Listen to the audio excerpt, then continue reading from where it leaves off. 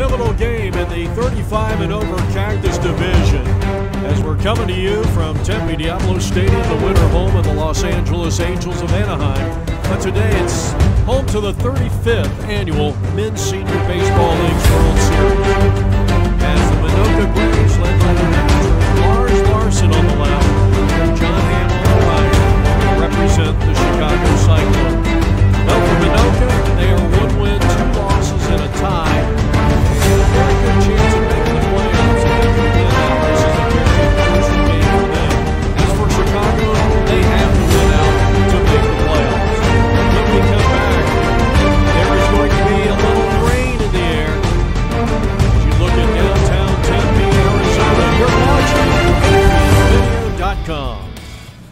All right, welcome back to Tempe Diablo Stadium. The Chicago Cyclones will be sending out right-hander Tony Feo.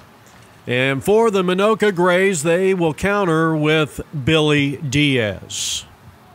And taking the field for the first time here today, the home team, the Chicago Cyclones.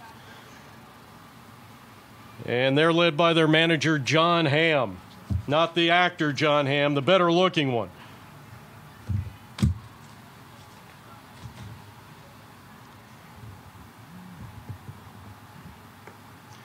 And you're getting a look at today's starting pitcher, the right hander, Tony Field. And hoping to stop this vaunted team, this vaunted lineup here of Lars Larson, the manager of the Minnoka Grays.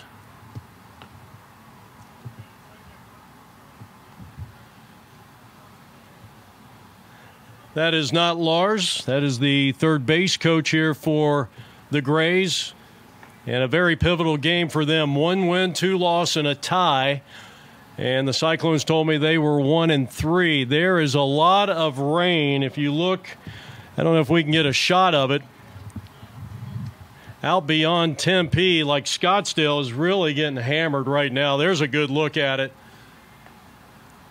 There is a 50 to 40 to 50 percent chance of rain for the next. Uh, I would say, well, we're starting here at 12:30. We're 12:34 right now, and so we probably got another 45 minutes to an hour of a threat of rain.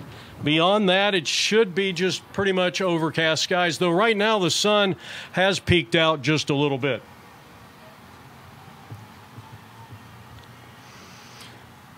Well, the dimensions here at the ballpark 340 down the left field line. The gaps enormous, over 400 feet. 420 to center field and down the right field line 360. It was built in 1969 for the expansion Seattle Pilots.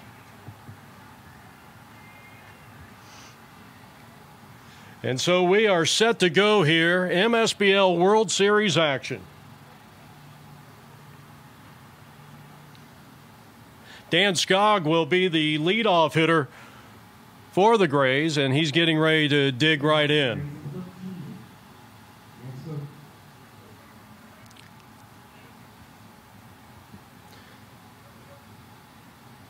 So Skog's deleted off.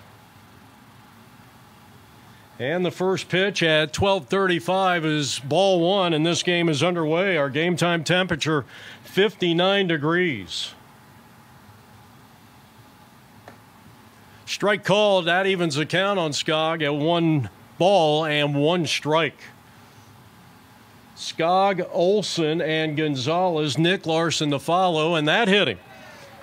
So they get the leadoff hitter aboard here and a good start.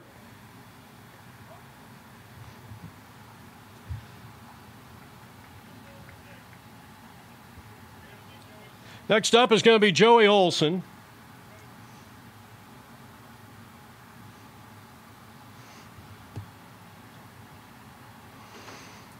So the leadoff hitter is aboard.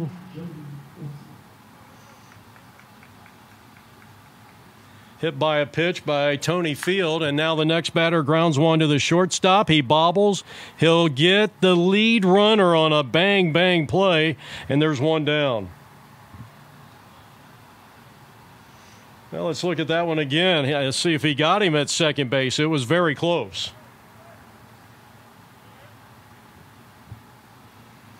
And you be the judge. So the fielder's choice, and that's the first out of the inning and the first out of the ball game.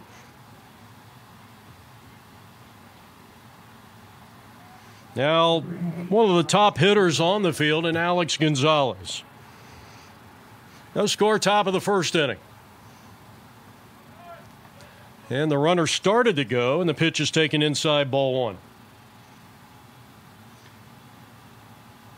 Nick Larson is on deck for the Grays against the right hander, Tony Field. There goes the runner. Pitch is taken for a ball, and the throw down to second is not going to be in time. A stolen base for Joey Olson.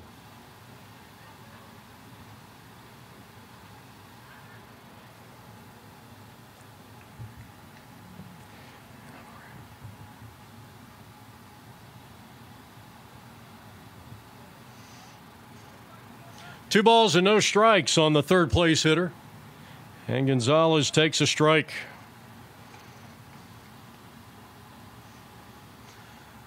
Well, this has been the worst day we have had weather wise for the entire tournament. That's chop foul along the third base dugout, occupied by the Minnoka Grays. So the count evens at two balls and two strikes. With a runner at second base and one man out, and the 2 2 pitch to Gonzalez. In the dirt, full count.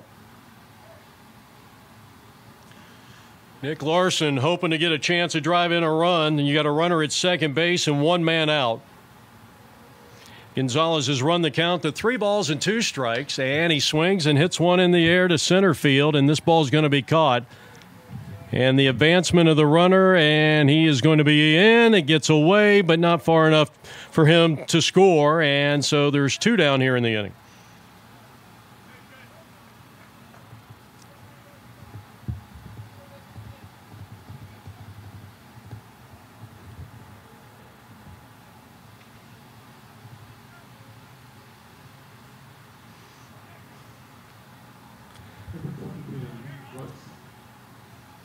Now Larson, swing and a miss at the first offering from Tony Field.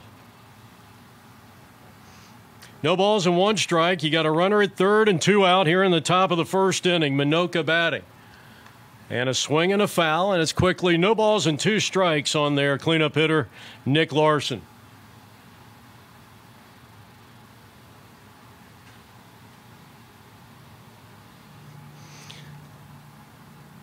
Well, it's good to see that the sun is out. And the 0 2 pitch is bounced up the middle where the shortstop knocks it down and will throw. No, it was dropped by the first baseman, and the run will score. And just like that, the Grays lead it 1 to nothing. That'll be an error on the first baseman. As Olson scores from third base, and it's 1 0.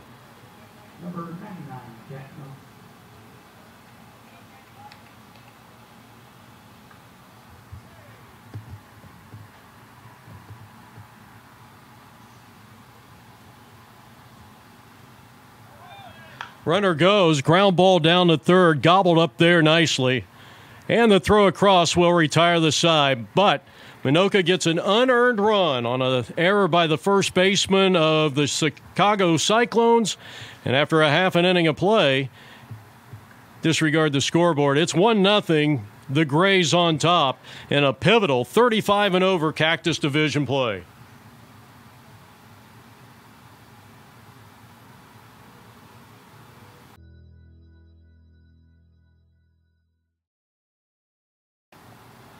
You're getting a look at the right hander, Billy Diaz, getting the start here for Lars Larson's Minnoka Grays, a team one, two, and one. Chicago, their opponent here today, one and three by record. Chicago has to win out, and that might be the scenario here if Minnoka out of Minnesota is going to make the playoffs here in 2022. It'll be Colin Yeager and Camacho, the first three here for Chicago.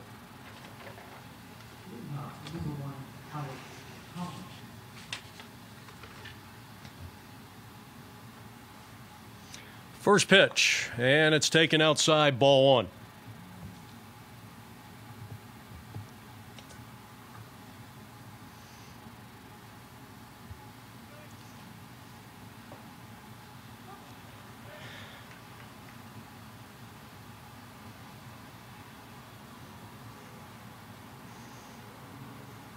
One ball, one strike. Swing and a miss. Alex Collins comes up empty handed, and it's quickly one ball and two strikes against Billy Diaz. Bottom half of the first inning. And his ball is slapped to third, cut off there. Nice play, and a quick throw to first in time, one down.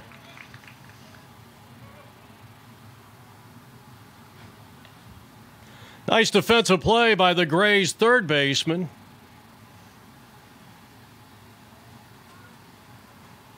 As you look at it again on the replay, and there's one down here in the home half of the first inning.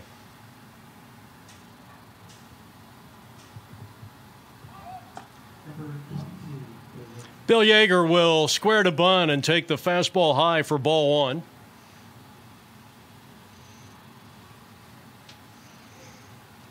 So, again, a very pivotal game in this 35 Cactus division as the count evens one ball and one strike on the speedy Bill Yeager.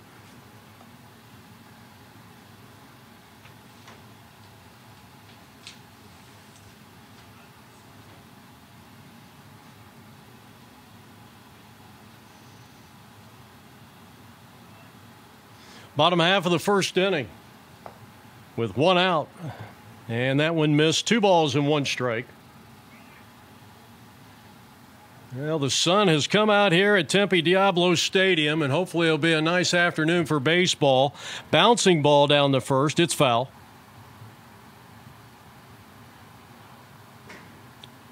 Rhodey at first base getting the start.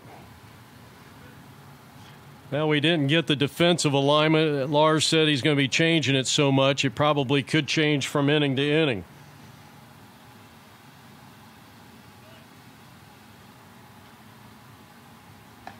Swing and a miss, and that's a strikeout, and that's out number two.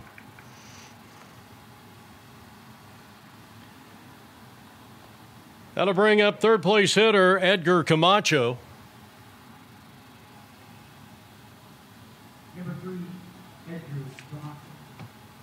With Alex Drennan hoping for a chance on deck. So there's two out here in the home half of the first inning.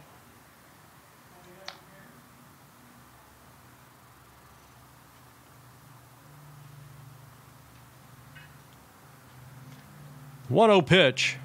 Swinging a foul, got a piece of the catcher, maybe a little bit of the umpire, and the count is even at one ball, one strike.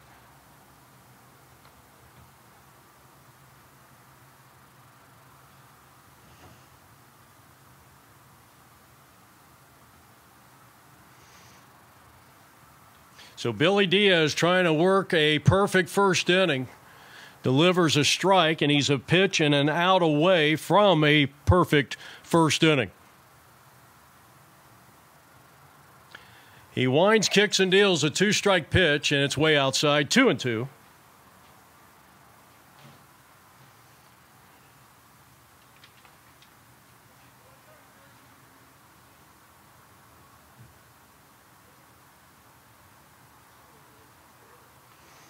Two two.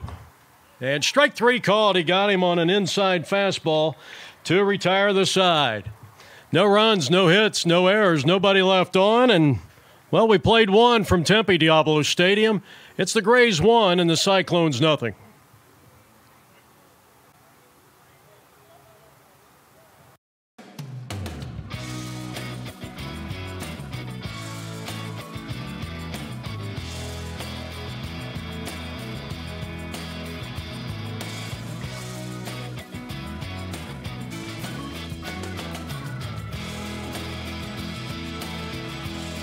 Right, welcome back to Tempe Diablo Stadium as we get set for inning number two.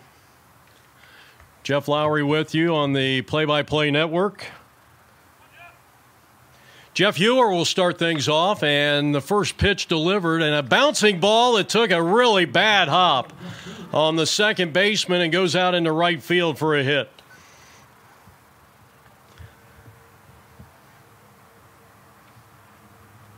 Let's look at that bad hop once again. Boy, I tell you, have you ever seen a bad hop like that before? Number 28, Dustin Rhodey. So Rhodey, the batter, batting for the first time here in the top of the second, and a double play ball if they can turn it. Second one, throw it on the first, and they do. Well, a fine job by the Cyclones defense, a 4 6 3 double play.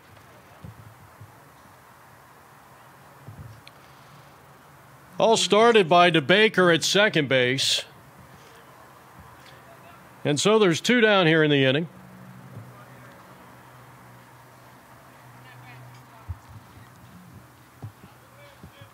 And now the two out hitter with nobody on base. It's going to be A.J. Nunez. Good all around player right here. One of the leaders on the team, and the first, second pitch is in there for a strike, and it's quickly no balls and two strikes. We're in the top of the second inning.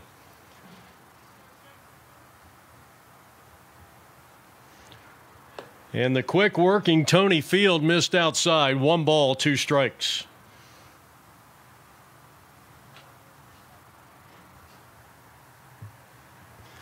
He kicks and deals, and the curve is popped up. First base side. The first baseman over has room, and somehow he made the catch, and that'll retire the side. Nice play by Jeff Melcher, and we have played an inning and a half of baseball from Tempe Diablo Stadium. 1 0 Grays over the Cyclones.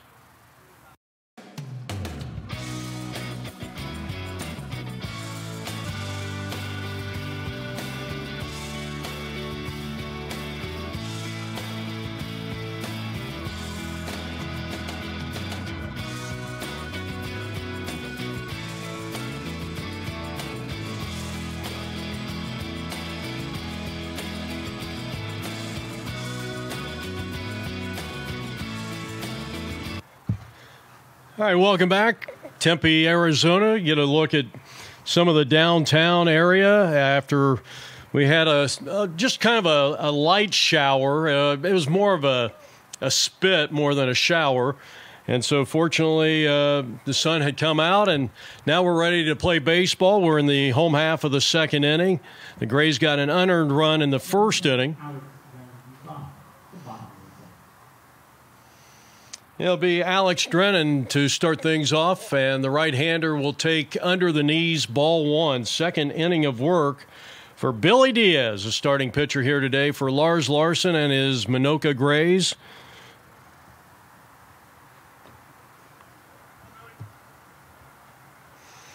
One ball, two balls, and no strikes on the right handed hitter. Four, five, and six coming up here for the Cyclones. And quickly behind at three balls and no strikes. Dan Skog, a leadoff hit batsman, a fielder's choice, a fly ball to center. There's a hit batsman. It was ball four anyway. So they have the leadoff hitter aboard. And then scoring on the error on a drop ball from the shortstop. And Larson reached safely, and that drove in the run.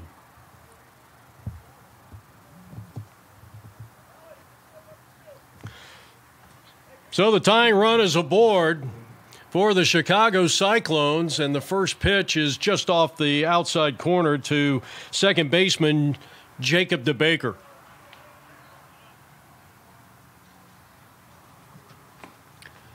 And a strike, and it's one and one. On a cool day, probably, well, this is the coldest day that we have had in the tournament this year. That's out of play, and that'll run the count to one ball and two strikes on the second baseman. He does a nice job in the field. One of the leaders out there. They turned a nifty 4 6 3 double play in the top of this second inning. The one two pitch from Diaz and a little defensive swing, and he just got a piece of it and sends it down the right field line, a foul ball. Leadoff hitter was hit by a pitch. And the one two pitch to Jason DeBaker. Curve swung on and missed. A third strikeout of the day. And there's one down here in the inning. Third strikeout for Billy Diaz.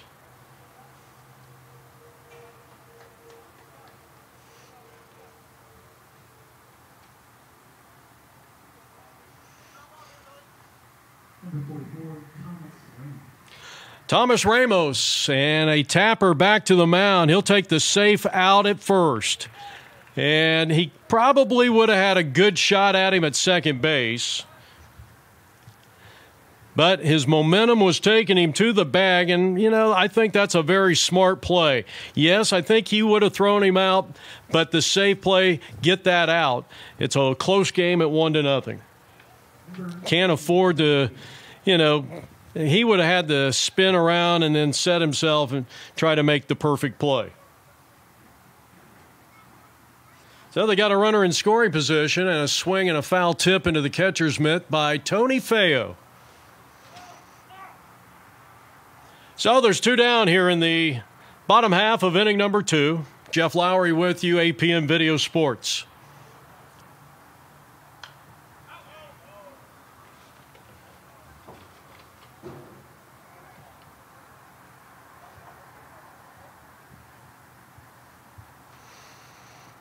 On a great day for baseball, we had a little rain a little bit earlier today, but things looking pretty good so far. Hopefully, it'll stay away from us. And the 0 2 pitch is too high.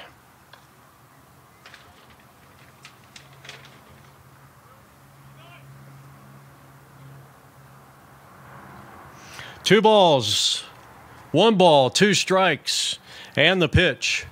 And a line drive and a diving play at shortstop to retire the side. How about that?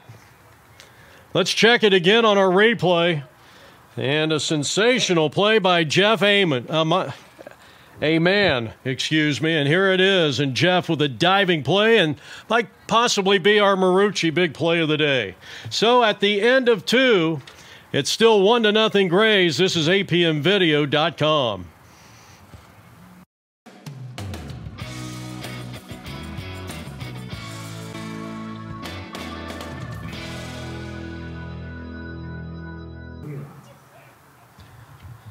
Michael Wayrock starts things off here for the Grays in the top half of the third inning.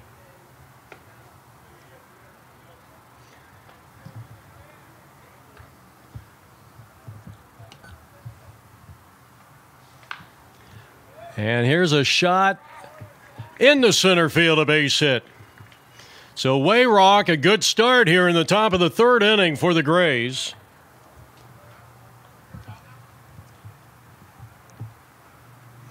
And it looks like he's going to get a courtesy runner.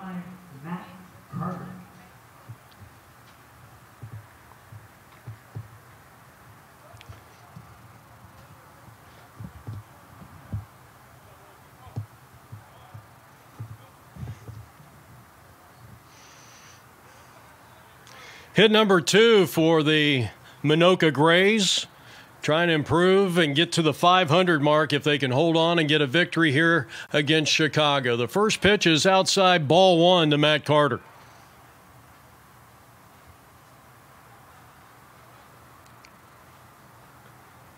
Top of the third inning.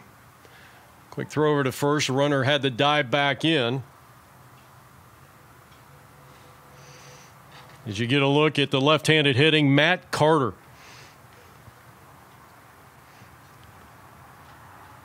And a chopper foul, and that will make the count one ball, one strike.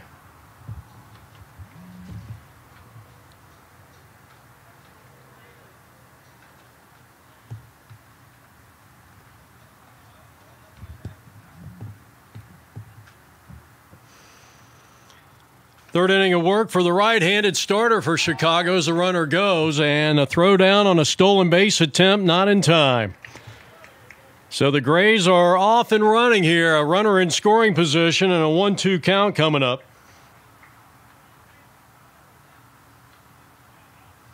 That is the second stolen base of the day for Minnoka.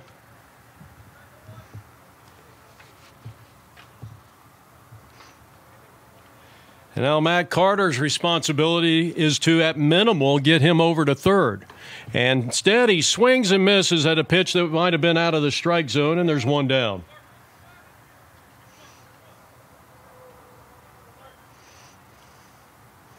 Well, he came back with the high cheese, and Carter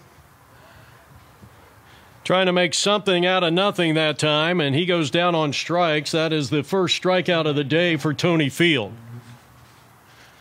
So one out here in the top of the third inning. And this ball is hit in the air to medium depth right field and is going to be playable. The runner tags and moves all the way to third base. So there's two down here in the top of the third inning.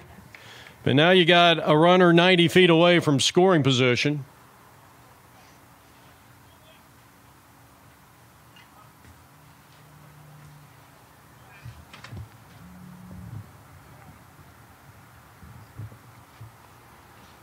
So Von Ruden flies out, and we go back to the top of the order and Dan Skog.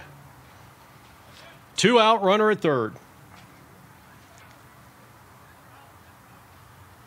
Yeah, they tried to do the, I don't know if they were trying to do an appeal play, ask for an appeal. Not sure what was going on and why we're stopping play all of a sudden. Here in the top of the third inning, Minnoka, the visiting team, at the plate, leading it one to nothing. Scored an unearned run in the top of the first inning. Now Dan takes a fastball high and away, ball one.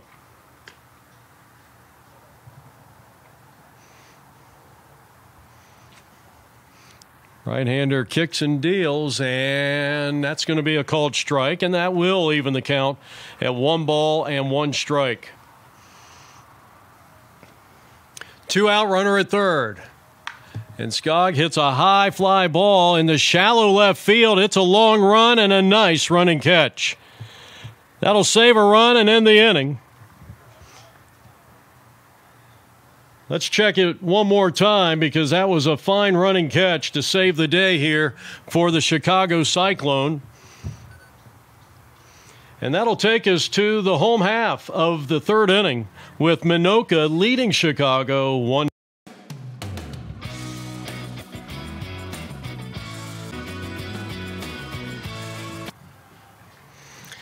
We're getting a live shot at downtown Tempe as we welcome you back into Tempe Diablo Stadium and the 35th annual MSBL World Series.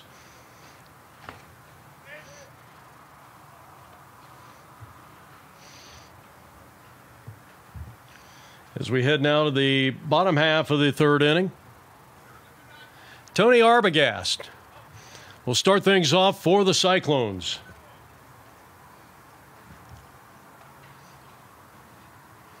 Arbogast, Ona, and Priolo will be the first three here for John Ham, the manager of this Cyclones team.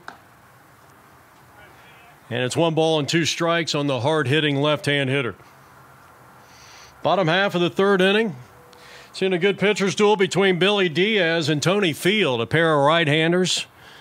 And that one way outside to even the count at two balls and two strikes.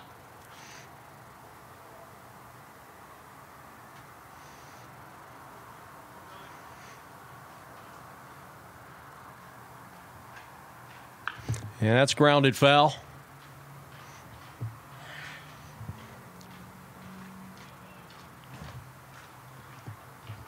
Well, it's always important to get that leadoff hitter aboard. Or in this case with Minnoka, retiring that leadoff hitter. He fouls it off, stays alive. Two balls, two strikes to the first batter here in the home half of the third inning.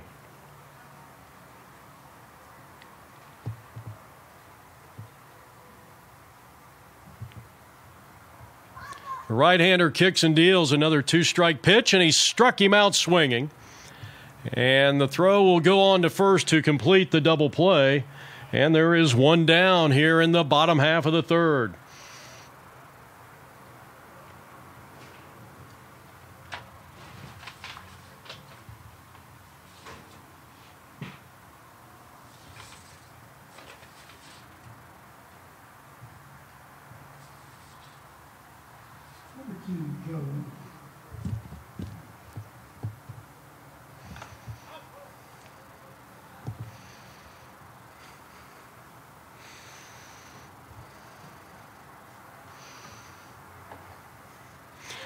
Balls and one strike to Joe Ona.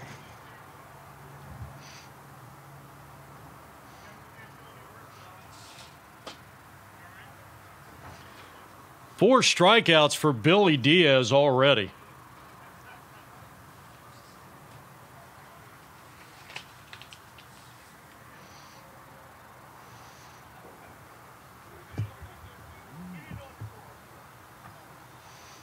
A close up look at Billy Diaz, today's starting pitcher.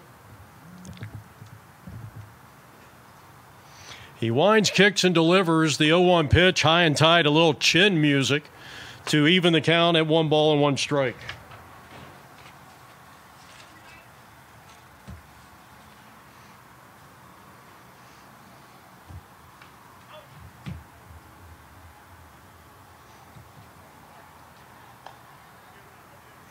So it's a ball and two strikes on Joe Ona.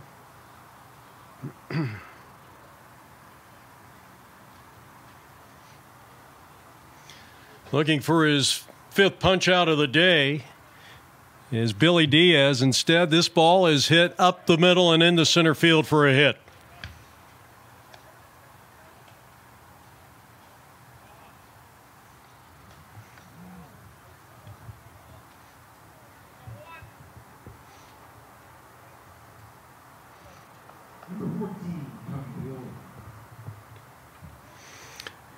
Look at that line drive base hit as Priolo gets set to come back into the batter's box.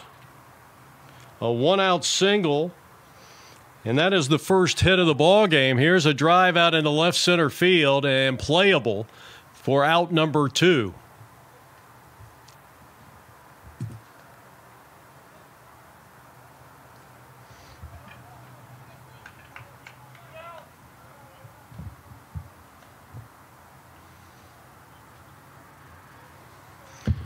So a nice running catch out there in left field for the Grays. The Grays left fielder. And now Lee Smith Jr. No, this is not any relation to the Hall of Famer Lee Smith.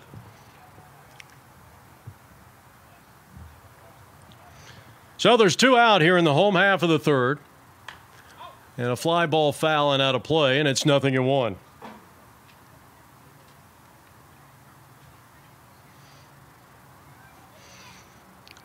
Well, the two teams, uh, well, you would expect this in a 1 nothing game, collectively 0 for 7 with runners in scoring position so far. That's a strike.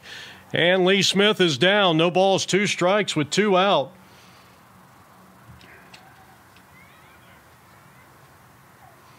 Billy Diaz, and he left it a little low, one and two, looking for his fifth punch out of the day. Two out in the bottom half of the third, an unearned run in the top of the first inning for Minnoka.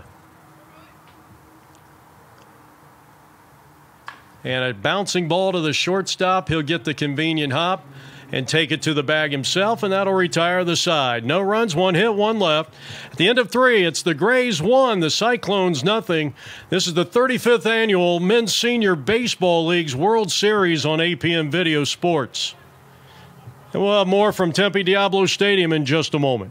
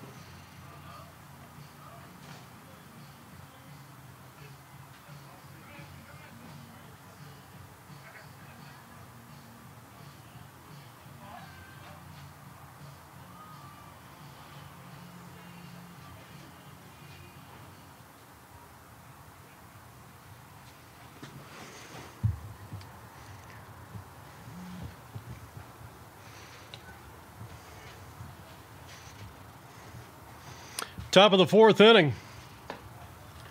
And the first pitch is ball one.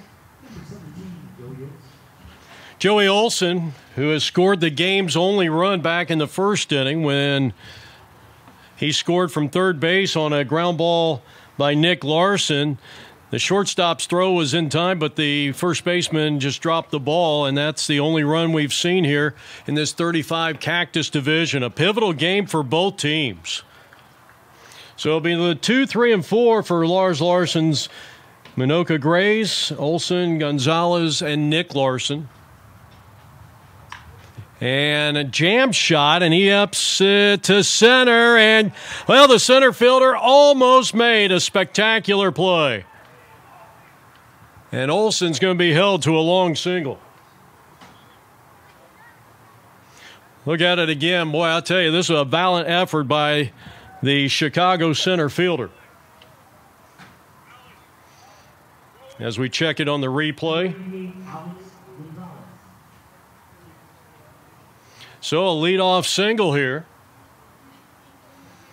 Hit number three for the Minnoka Grays. Alex Gonzalez 0 for 1.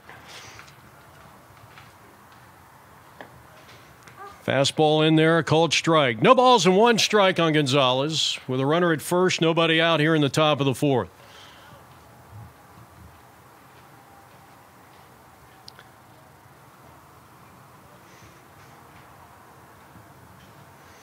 The check of the runner, and Tony Field will throw over that way.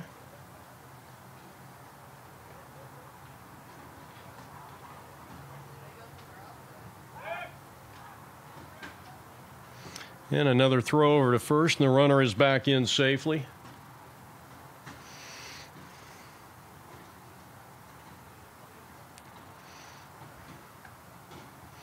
Ready with the 0 1 pitch. And here's a little looper back a second. That's going to drop in for a base hit. The runner was going, and he is going to make it to third. So the first two have reached here for the Grays against starting pitcher Tony Field.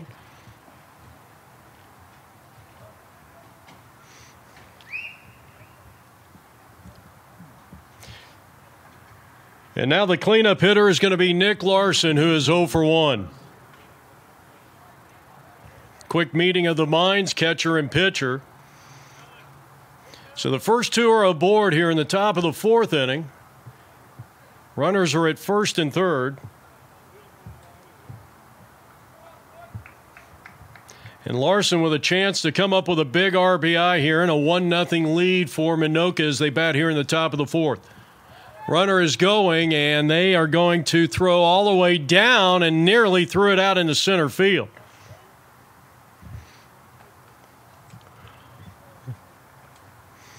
I think that was one of those situations where the catcher kind of got in between, you know.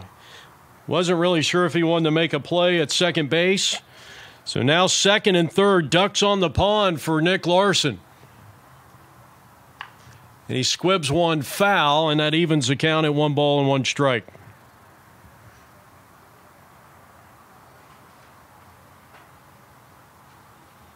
Gonzalez with the stolen base. That is the third stolen base of the day. Three for three for the Grays. As they bat here in the top of the fourth, leading it one to nothing. Second and third, nobody out. And it's low, two and one. Now the infield on the left side is playing even with the bag and just off the grass. Maybe a step.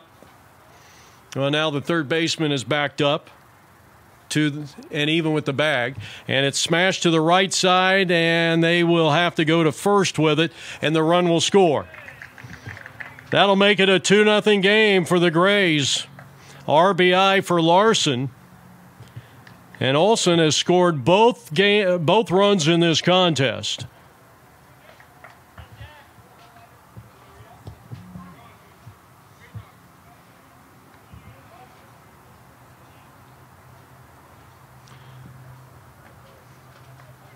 So Larson will be credited with an RBI.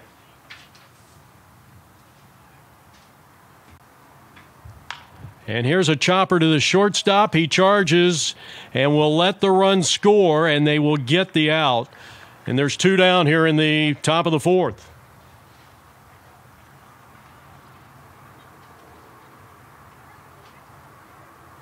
So make it a three to nothing ball game in favor of the Grays. A couple of runs, the two leadoff hits, and a couple of well, a stolen base and good base running has paved the way to a three-run lead here in the top of the fourth inning for Minnoka, and that one's rifled into the seats, foul ball.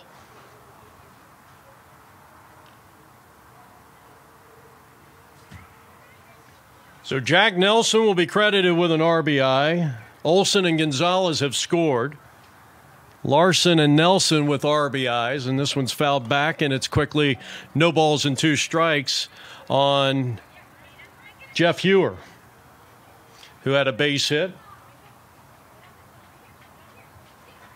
Four hits in total now. And the next delivery is a line shot out in the right field. He hit it well. And that ball's going to get by the right fielder. It's going all the way to the warning track or near the track. And now coming all the way to third is Hewer, and he's got a triple with two out. Well, he gave that ball a ride, no question about it.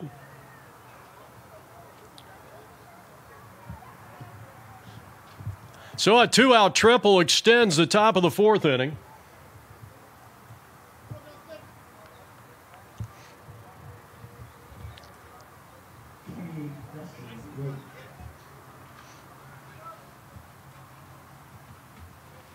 Dustin Rhodey fouls one off.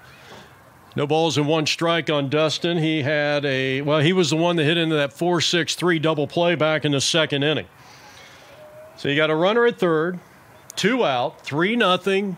Grays lead it, and here's a line drive that the second baseman DeBaker will make a nice play on, and maybe even a nicer play by Ramos at first base to retire the side on a throw that was a little wide. But a successful inning for the Grays. Two runs. They lead three to nothing. We head to the bottom of the fourth inning from Tempe Diablo Stadium.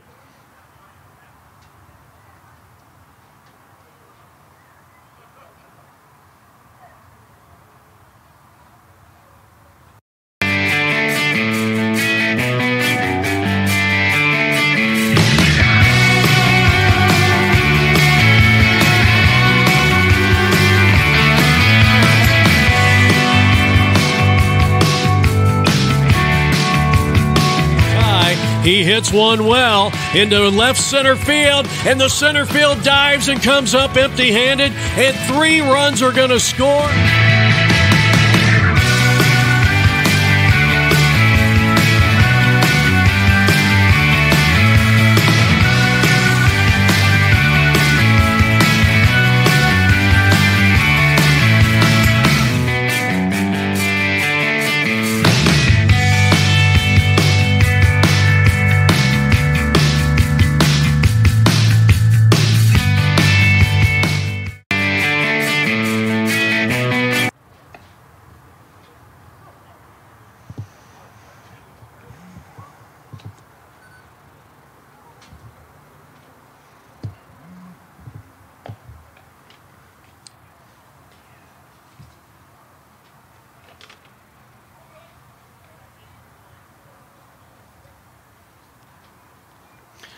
Billy Diaz now in his fourth inning of work. As we go to the bottom half of inning number four, and he has punched out four guys so far. As we get set for the Chicago Cyclones offense to try to get back into this ball game. They trail three to nothing. They're in a definitely well, both teams I think are kind of in a must-win situation if they want to get into the playoffs. So JD will start it off. Panalago. Left handed hitter, ball one. One ball, no strikes. And it's chop foul. That'll even the count. At one ball and one strike on this date in Major League Baseball history, 1965. No, I was not born then. Sandy Koufax who had a 26 and 8 record and a 173 ERA and a record shattering 382 strikeouts as the count goes to 1 and 2 on Panaloga. And he was awarded the Cy Young in a unanimous vote, and that was two years before they started awarding it to pitchers in both leagues. Two balls, two strikes on Panalago. JD leading things off here in the home half of the fourth inning. You're watching APNvideo.com and the 2 2. And a chopper up along the first base line. It will not get through the first baseman, and Rhodey takes it to the bag, one down.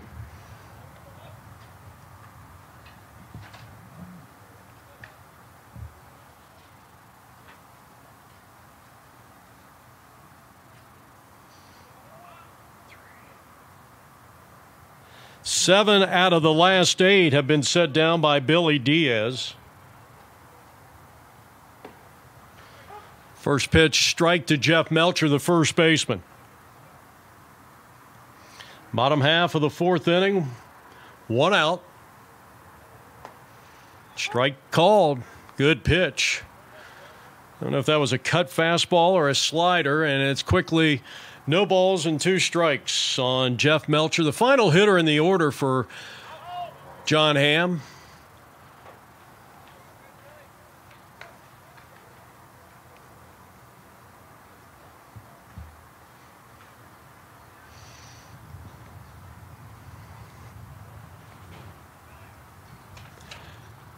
The 0 2 pitch again.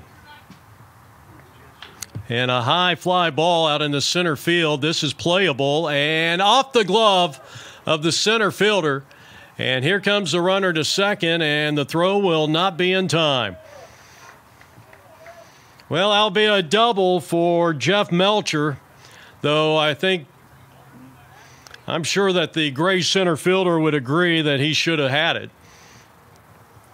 So a two base hit, the second hit of the ball game here for the Chicago Cyclones.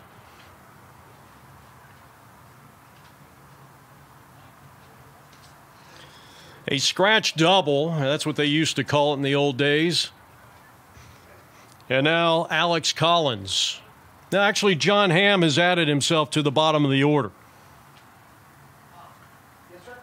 nice guy. Had did a, had a chance to cover one of these Cyclone games, I think, a couple of years ago, and just a really nice guy. Guy loves the game of baseball, and he's up there trying to get a run in. They have been shut out over the first three plus innings.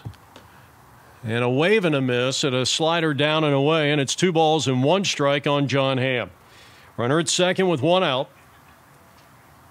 Cyclones 0 for 3 with runners in scoring position. Ham trying to change that right here. And he's tardy on the pitch, and it's 2 and 2.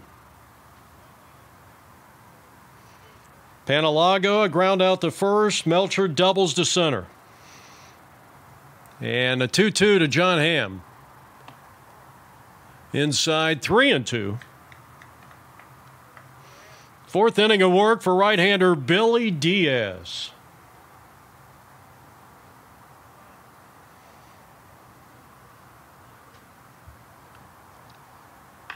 And he slaps one to the right side. At least that gets the runner over, and there is two down.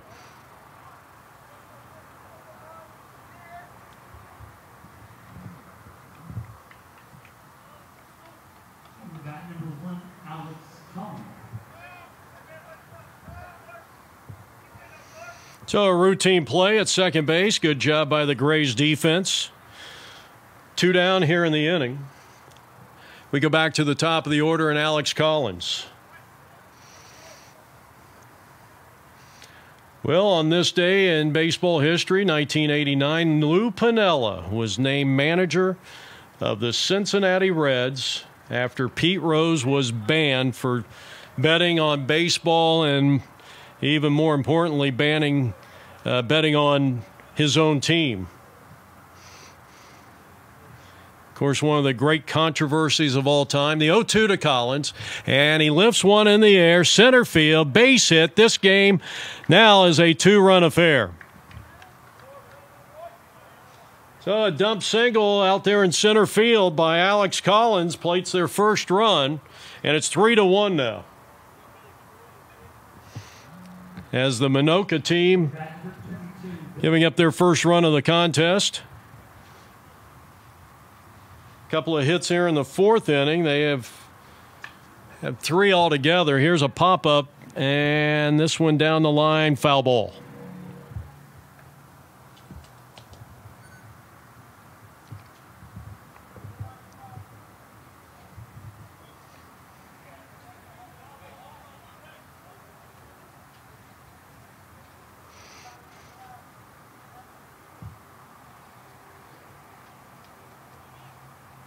The hit by Alex Collins, the first hit of the ball game with runners in scoring position.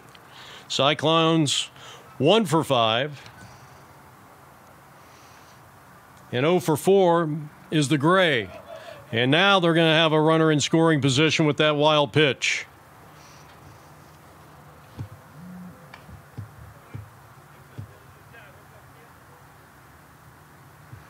Diaz in his fourth inning of work scattering three hits and one earned run.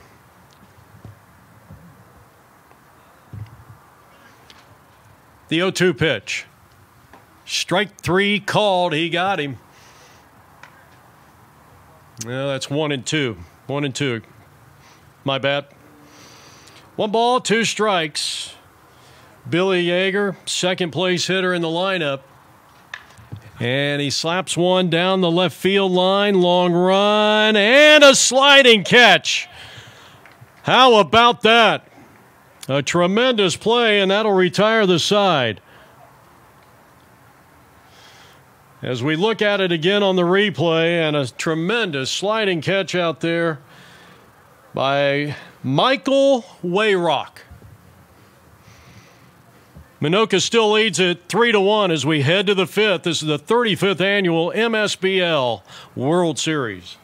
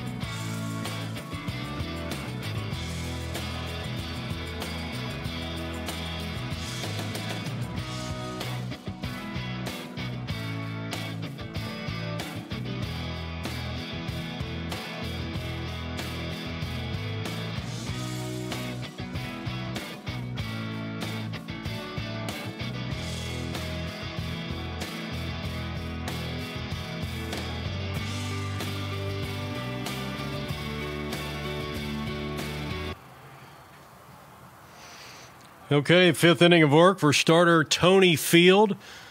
We got a good ball game here. It's three to one in favor of the Grays. They got out to a one nothing lead in the first, added two more in the fourth. AJ Nunez will start things off here, home half of the fifth inning for the Grays.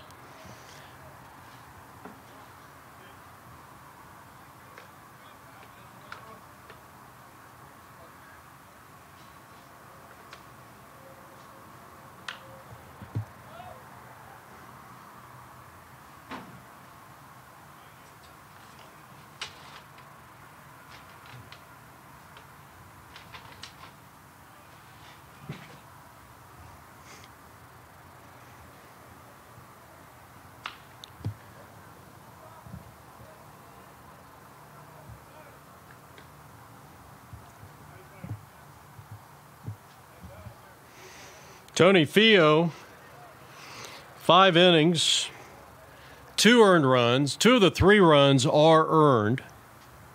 As AJ Nunez, Tony Fio on the mound.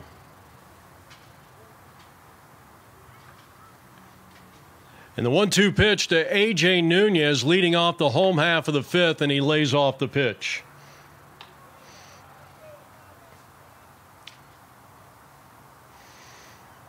Two balls and two strikes. First batter up here in the home half. And a long belt into deep left field. He hit it well, but the left fielder is there to make the play, and there's one down.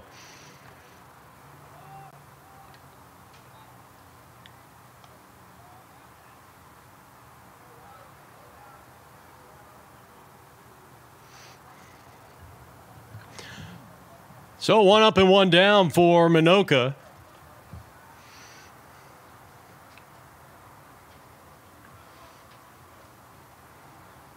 And here's the man who made the Marucci play of the day an inning ago, Michael Wayrock.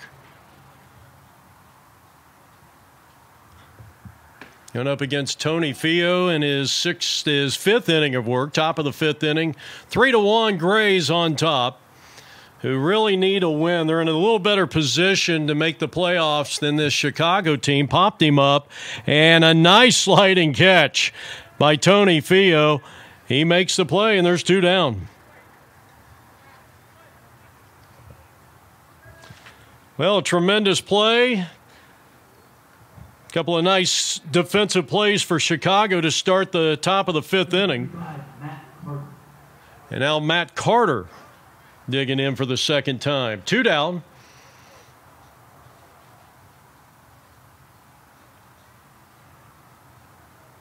First pitch. That's a called strike. So Tony Field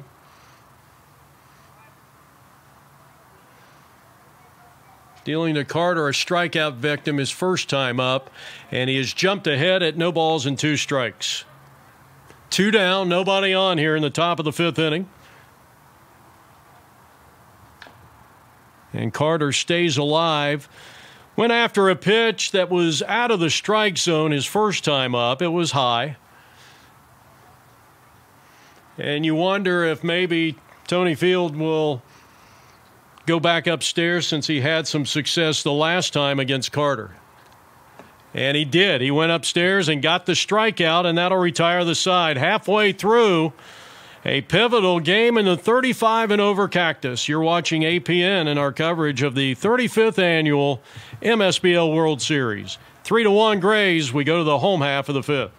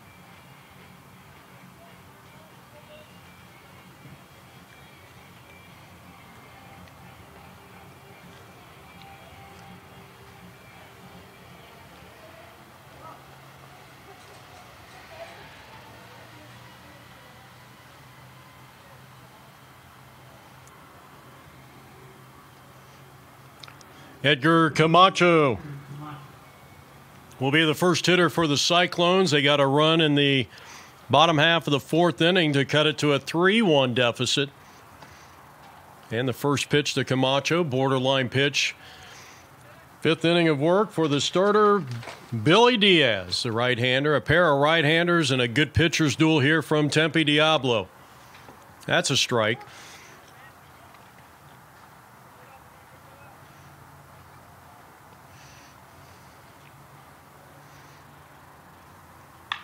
Ground ball. And just like that, one up and one down.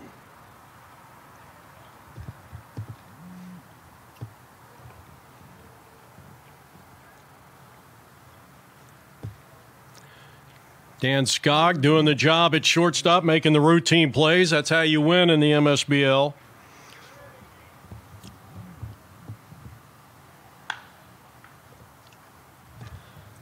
Down the left field line and foul.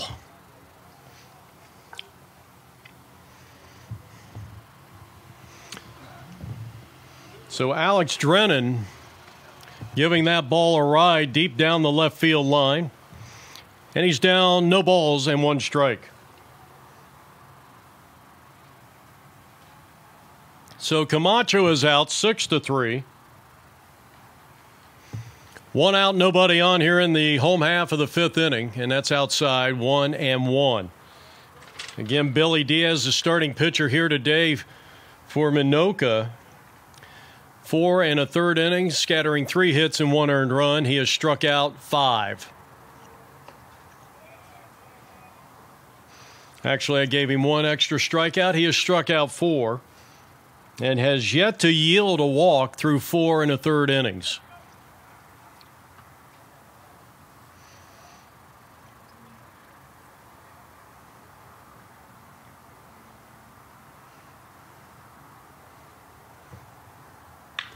And here's a line shot way back into left center, and this is going to be extra bases. That ball's heading to the Michelob Ultra sign. Here comes the runner to second, and now he's going to be in standing with a three base hit. So a one out triple by Alex Dressen. Now bring the tying run to the plate for the Cyclones.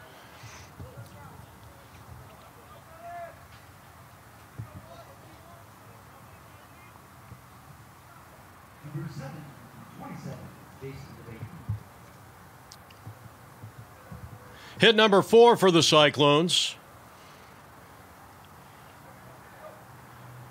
They will concede the out. They will concede the run, I should say. The Grays defense. They will concede the out or run for the out, unless the ball's hit probably right at the third baseman.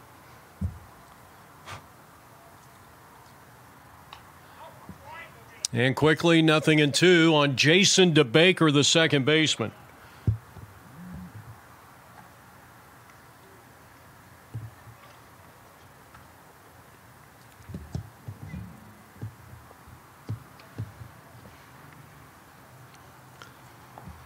And a swing and a miss, and he is going to go down on strikes.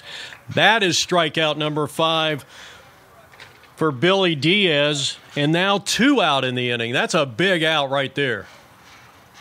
And DeBaker is going to courtesy run at third base. Two down.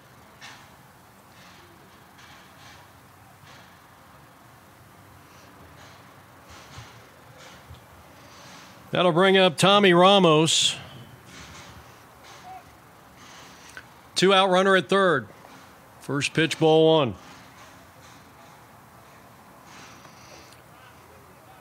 Well, the Cyclones just one for six with runners in scoring position in this game.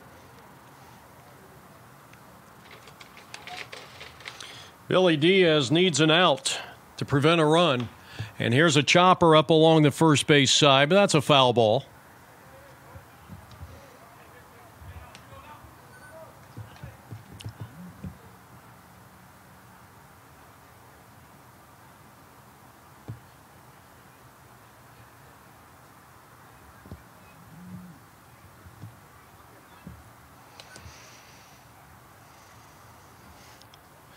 One ball, one strike. Big at bat here And Ramos takes just under the knees as the sun peeks out here and shines all across Tempe Diablo Stadium.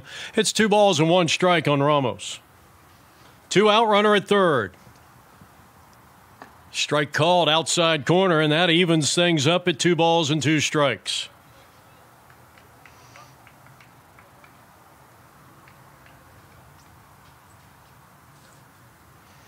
He's ready with the two strike pitch.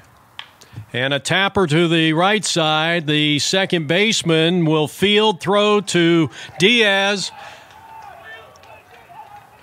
And apparently he's called him safe, and the run is in. So good hustle over there. Ramos getting down the line, and the pitcher got over there too late. And it's three to two here in the bottom half of the fifth inning.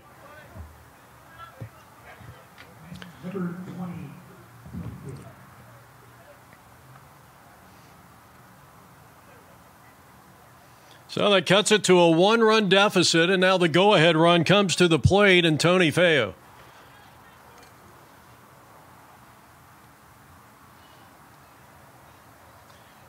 Credit Ramos with an RBI for Chicago. And it's quickly two balls and no strikes on today's starting pitcher.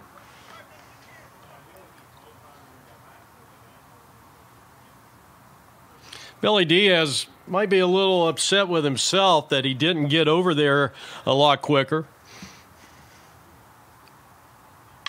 And here's a drive into right field, and it's going to hold up and be caught by the right fielder to retire the side. But in the inning, Chicago gets a run, and they trail by one as we head to the top of the sixth inning from Tempe Diablo Stadium. This is APNvideo.com.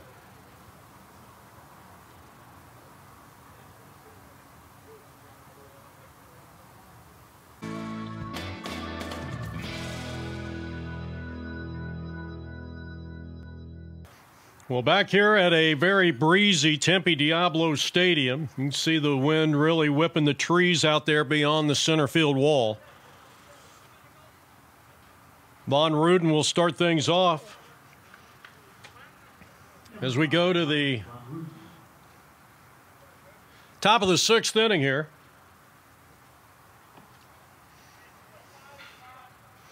And the first pitch is outside ball one. Mark flied to right field, his first and only time up back in the third. So a uh, new complexion on this ball game as Chicago has scored two unanswered runs and now have cut the deficit to one at three to two. Top of the sixth. And Mark takes the 2 0 offering inside. Tony Feo in his sixth inning of work. 35 Cactus Division. And another good pitch. We're seeing a good pitching matchup here. Both team, both starting pitchers have given up two earned runs so far. And a good job by Von Ruden, Mark Von Ruden, staying alive.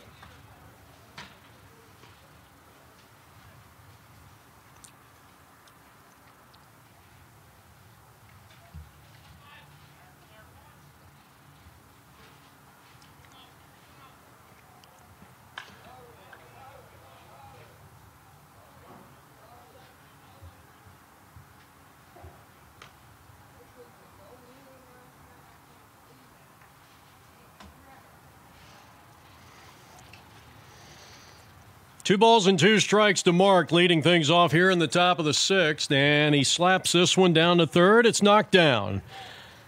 And a throw to first won't be in time. That'll be an error, the second error of the day against the Cyclones defense. Well, you'll take them any way you can.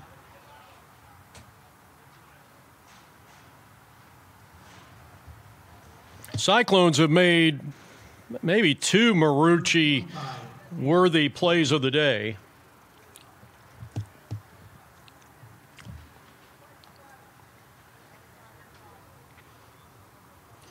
Andrew Padilla added to the bottom of the order.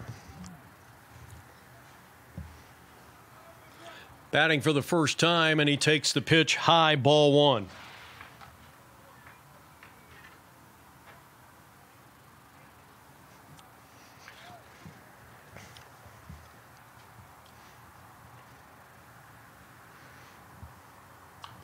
And he had a good cut at that one, but fouls it straight back.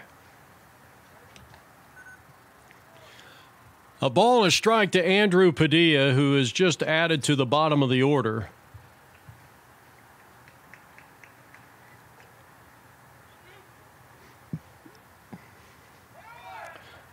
There goes the runner. Here goes the throw out into center field. And the runner didn't quite see it. Mark didn't see the throw quick enough to advance to the next base. Fourth stolen base of the day. Four for four for the Grays. So now you got a runner in scoring position. Nobody out here in the top of the sixth inning. That one's fouled straight back.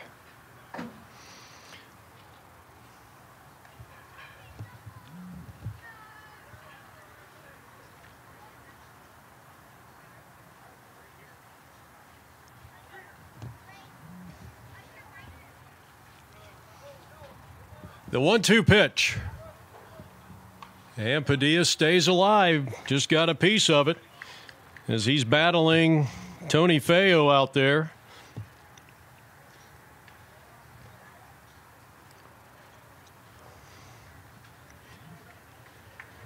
Got a runner at second base. That's outside, two and two. Minnoka led at one time three to nothing at the end of three and a half innings, but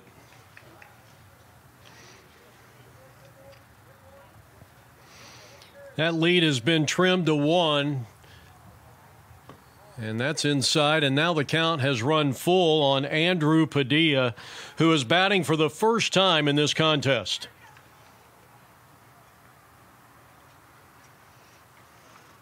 Tony to the set position, delivers, and this one is hit down the line, and that's out of play.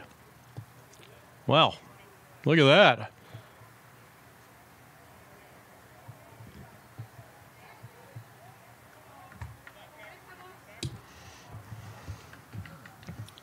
I don't know if I've ever seen that here before. That ball rolled up the hill, if you can believe that. So another three ball, two strike count coming up. And he slaps one down to third, this time fielded cleanly, and the throw across is in time. So a nice play there. Bill Yeager down at the hot corner taking care of Padilla. And there's one down here in the inning.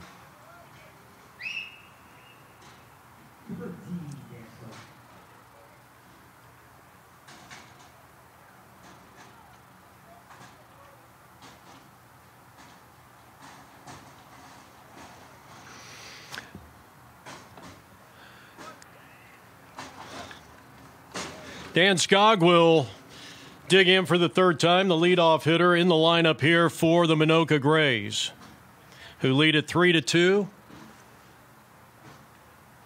Runner at second base. And the Grays still looking for their first hit with runners in scoring position. They're 0 for 5.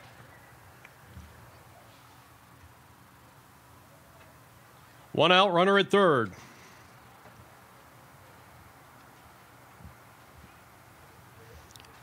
And Leo delivers. It's hammered into left field, and it's going to bounce in front of the left fielder on one hop. He'll throw the ball back in, and that's going to be a clean single to left field for Dan Skog. And now runners are on the corners.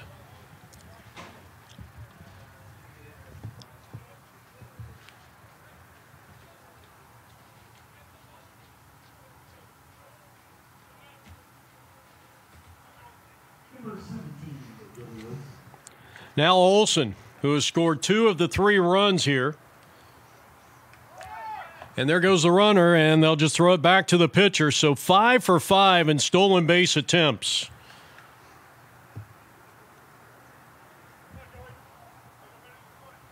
Still only one out, but now you got runners at second and third.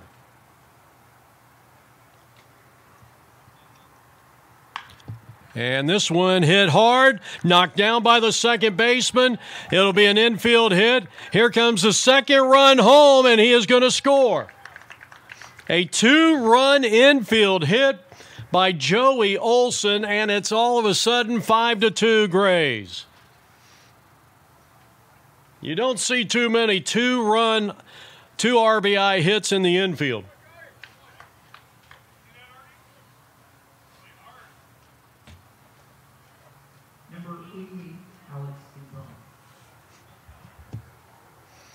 So now Gonzalez up there with a runner at first, still only one out. That ball was hit really hard and really ate up DeBaker, and not a whole lot he could do about it. So it's going to be ruled a hit, a two run single of the infield hit variety. And now one ball and no strikes on Alex Gonzalez. Alex Gonzalez, probably one of the most popular baseball names in the history of the game. And the runner is going. Here's a throw down.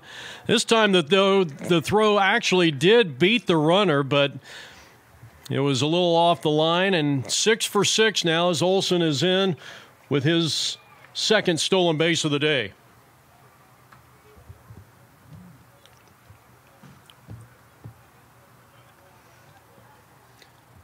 The 1 1.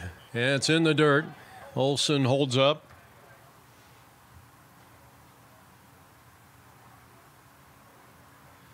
I'll tell you, where would the Grays be without the six stolen bases? I mean, that has factored into some of the scoring here this afternoon from Diablo Stadium. And there goes the runner again. It's grounded to shortstop. You got to be careful. He might try to score. Here comes a throw to the plate, and he is going to be out at the plate. What a great tag by the catcher. And that'll retire the side. Here's the play again at home.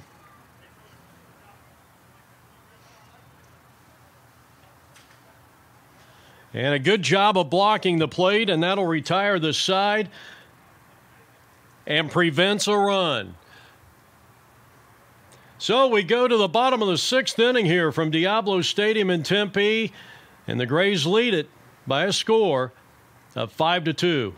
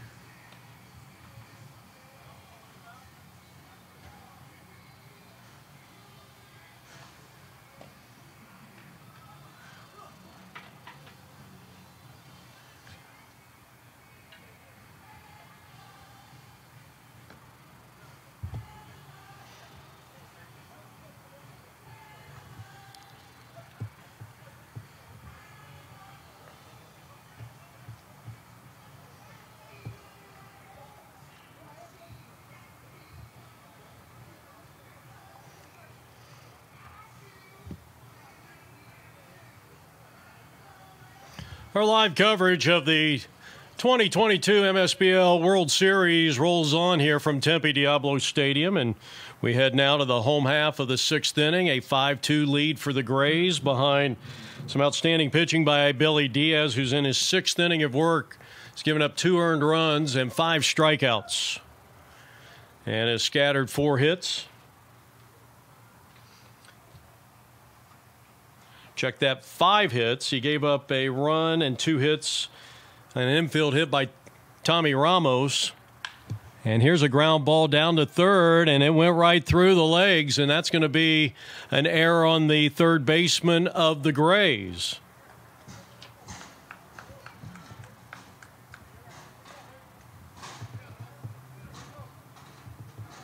So the leadoff hitter is aboard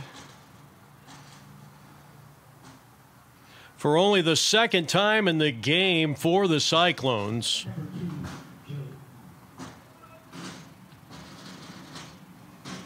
So Tony on with an error, and the next batter swings and lifts one towards the shortstop.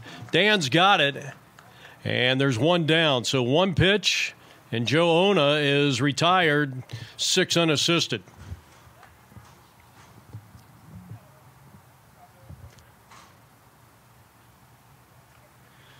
Tony Priolo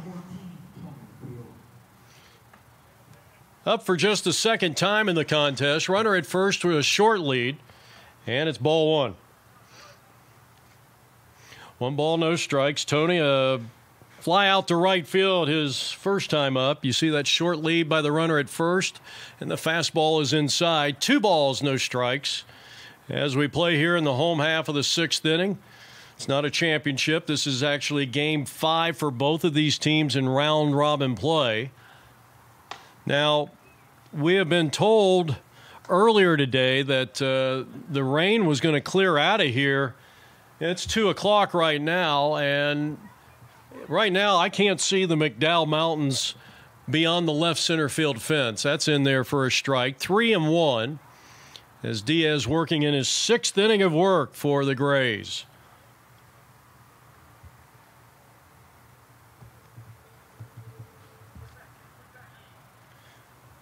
Needs a strike and did not get one, and that is the first walk issued by Diaz this afternoon.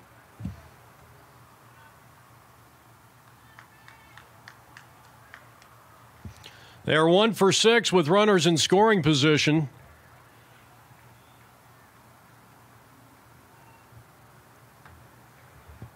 And now Lee Smith Jr. batting for the second time. First and second occupied, and only one man out here in the bottom of the sixth inning, and they got the tying run coming to the plate.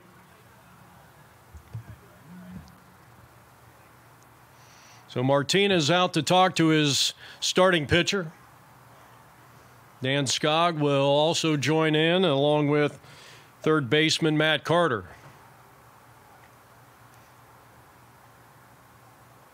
Well, he just issued his first walk of the contest.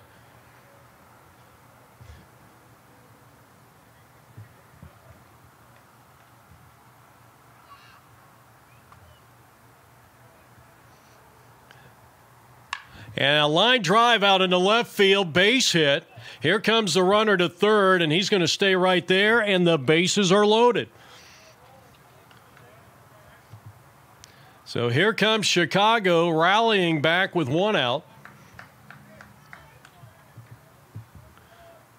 And this is going to prompt a visit to the mound.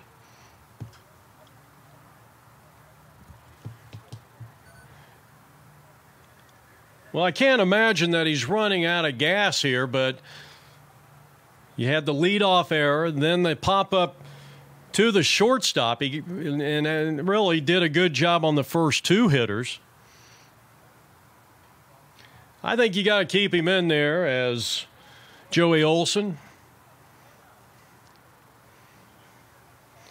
Maybe just a little pep talk with the bases loaded, the sun coming out, and once again, we're in total sunshine.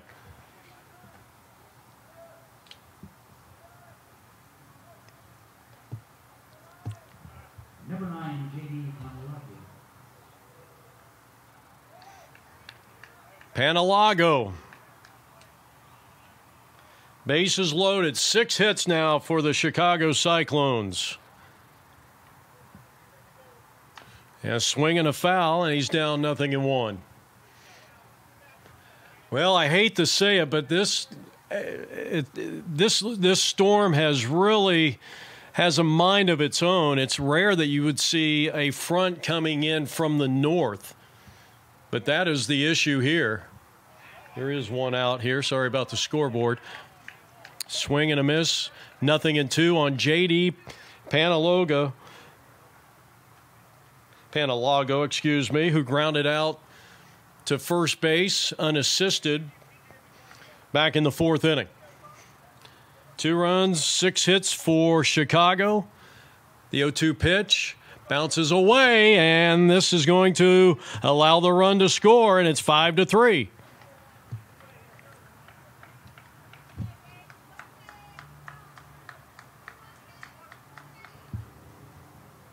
That's too bad because you're ahead in the count, and that is one of the dangers of with runners in scoring position, especially at third base, trying to get them to fish for a pitch that's in the dirt.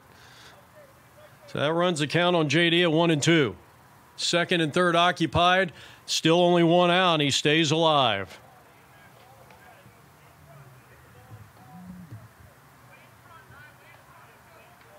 This is a big at bat here. You got the tying run out at second base.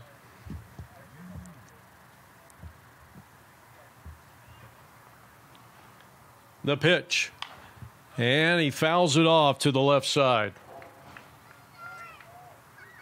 So we're going to keep a close eye. We've got a bird's eye view up here. Well, the weather, they're just saying partly cloudy or partly sunny. Call it what you will. Sun's back out. Two strike pitch. He struck him out swinging. What an outstanding job by Diaz, and there's two down. Well, he hung in there after the wild pitch that scored the third run of the game for Chicago. But he's not out of the hot water yet, and now second and third still with two out. And here's Melcher. He had a base hit, his first and only time up back in the fourth inning. He was credited with a double, a scratch double off the glove of the center fielder. Two out, one ball, no strikes to him. Just inside, two and nothing. There is a base open, but you don't really want to keep putting guys on base. The tying run is at second. Swing and a miss. Jeff did not look too good on that swing. Looked like he might have might need that thing Rob Deer is selling down here to keep your hands on the bat, keep your hands together. And he pops it up, and it's in the sun, and somebody's got to make a play on it. There's two outs, it's going to fall. And runners are going to be at first and third. That is an infield hit, and, well, the sun had just come out, and I think if they if that ball had been hit, uh, well, maybe five seconds later, that ball probably is caught by the pitcher, but it falls for a hit.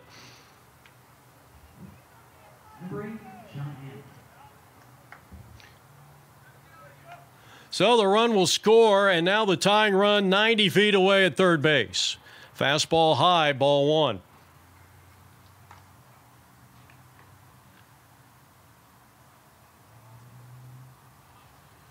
So a two run inning has put Chicago right back into the game as the sun is back out and you got a runner at third base.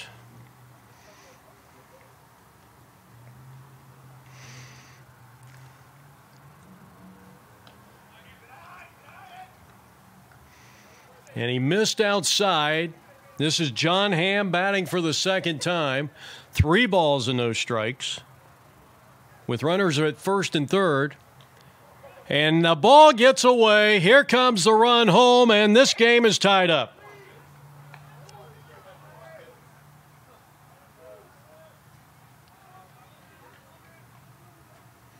Well, it's been a really tough inning for Diaz and company. And really, he should be out of the inning with no runs. The pop up should have been caught. Of course, he couldn't see it. And the leadoff hitter reached on an error. So a 5 5 tie in the bottom of the sixth inning. And this is the second trip to the mound, and so Diaz's afternoon, at least on the mound, is over. We got a break in the action. We're going to get a new pitcher. And Diaz will give way, and we'll take a quick timeout.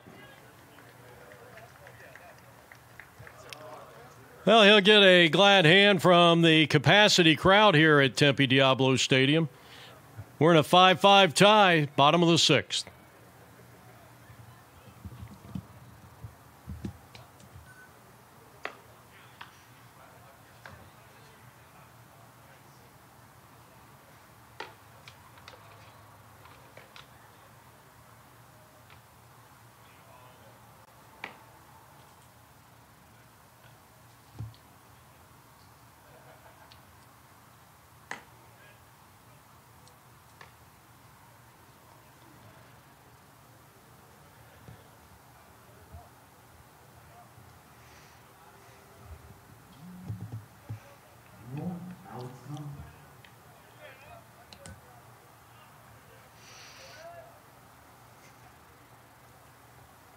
Two outs in a 5 5 tie, two runs coming in on wild pitches.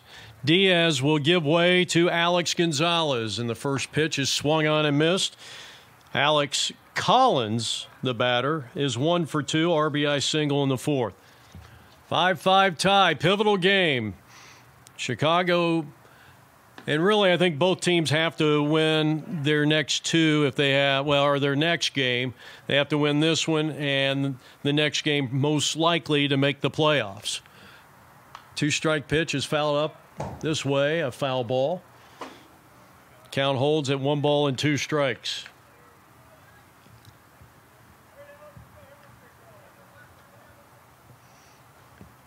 The 0 2 pitch.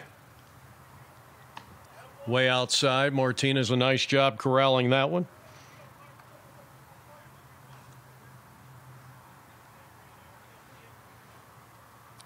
One and two. Gonzalez to Collins. Strike three called. He got him. Painted a blistering fastball on the outside part of the plate, and that'll retire the side. But they get three runs in the inning and they tie things up. It's a 5 5 tie from Tempe Diablo Stadium. The 35th annual MSBL World Series rolls on as you look at that beautiful pitch to end the sixth inning.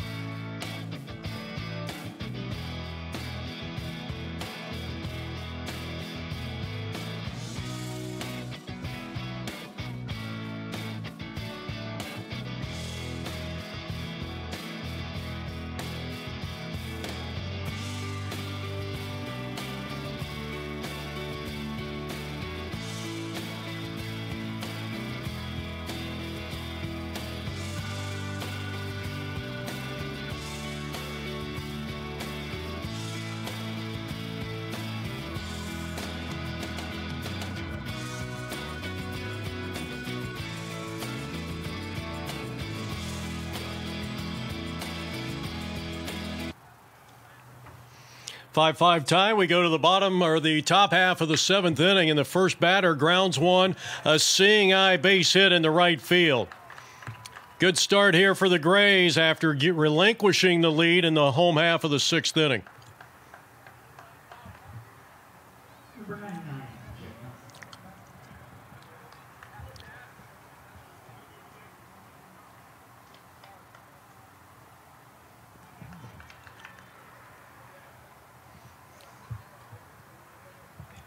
So Nick Larson leading things off with a base hit. Runner at first, nobody out. Representing the go ahead run. And he started to go and thought otherwise. As Nick Larson has a courtesy runner. I didn't catch the number when he walked out here.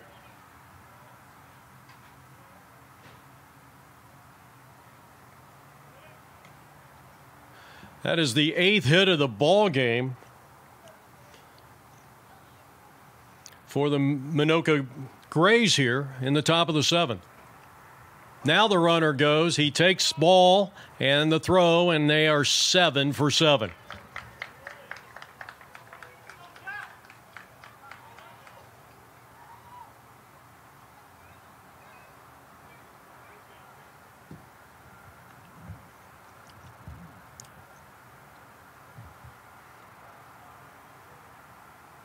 Pitch. And it's low and inside. Three balls and no strikes on Jack Nelson after the leadoff single by Nick Larson. And he's at second base in scoring position. And Tony Tony Feo is now in his seventh inning of work. And now the runner is going, and no one is at third base. Time was apparently not called and safe.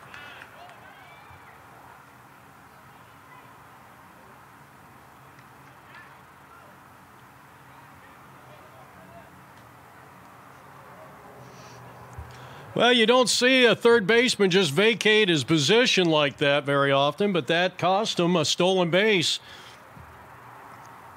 And this one grounded fair down the line. That's going to be extra bases. It's bobbled around out there, but not before a lead off or a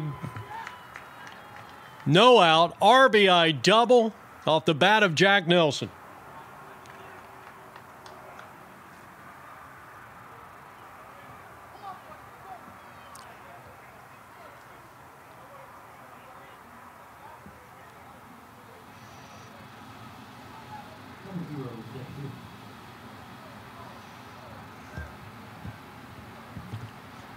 Swing and a miss. Jeff Hewer batting.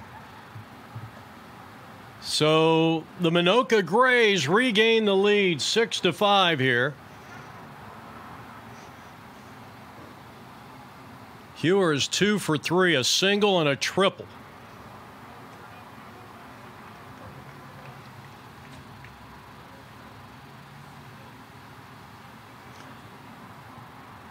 Well, the double by Nelson as that's outside one and two. The double by Nelson as he stands at second base.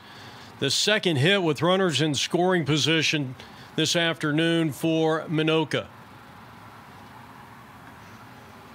And the count is now two and two on Jeff Hewer. Dustin Rhodey is on deck. Still nobody out here in the top of the seventh inning. And that's up against the screen to the right side.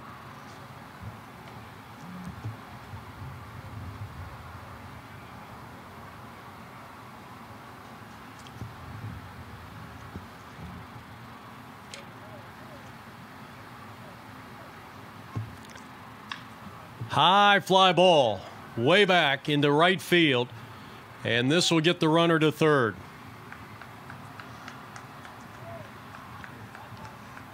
So that is the first out of the inning.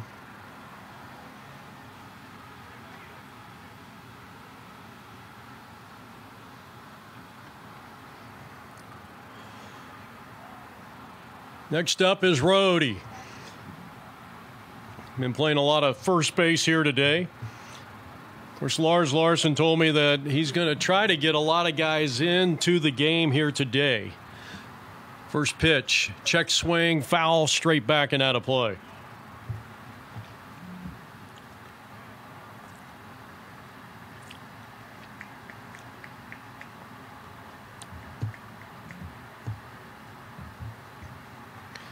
Nothing in one.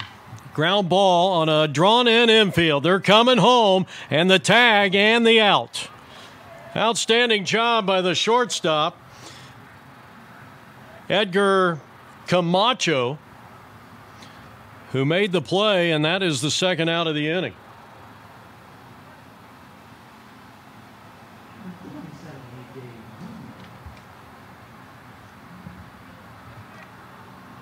Well, a nice backhanded play by Edgar Camacho, and he threw a perfect strike to his catcher, Alex Drennan. Two down, six to five. The Grays lead it with A.J. Nunez. And now the Grays two for eight with runners in scoring position. The runner goes, and again, we're going to get a stolen base. That was a little closer. Nine for nine. Nine stolen base attempts, nine successful.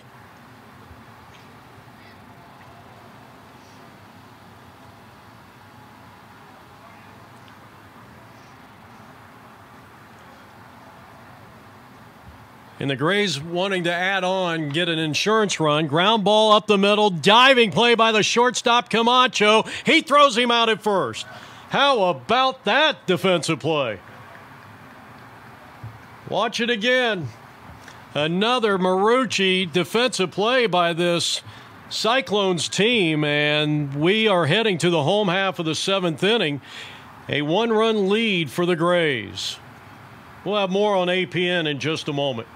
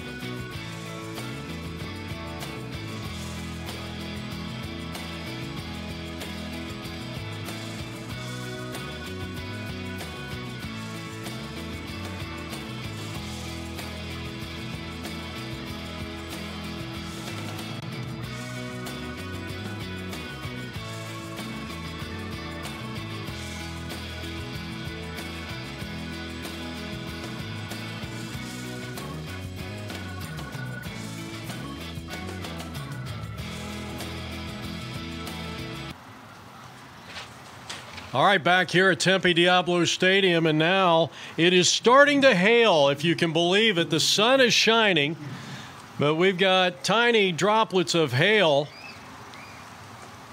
that are landing right outside our Tempe Diablo press box here as we go to the home half of the seventh inning. 6 5 Grays over the Cyclones. And they are not going to stop play as of right now. I'd rather have this kind of hail dropping than actual raindrops. As Bill Yeager, good morning, good afternoon, and good night.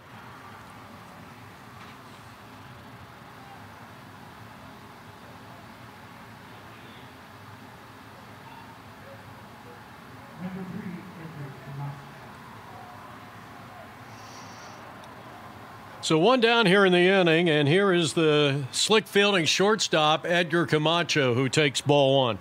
Second inning of work for Gonzalez, and he has struck out the first two that he has faced. As the Grays cling to a one run lead, and here's a rope past the second baseman, and the good speed by the center fielder. Let's see if they hold him to a long single. He's going for two, and he's got a double.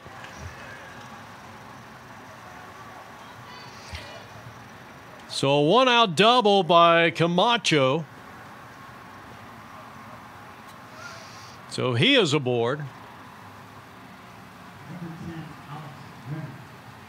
Seventh hit of the day for the Cyclones, and here's Alex Brennan, the cleanup hitter. Well, the hail continues to drop here. If we can get a shot of it or not. One out, tying run at second base here in the seventh inning.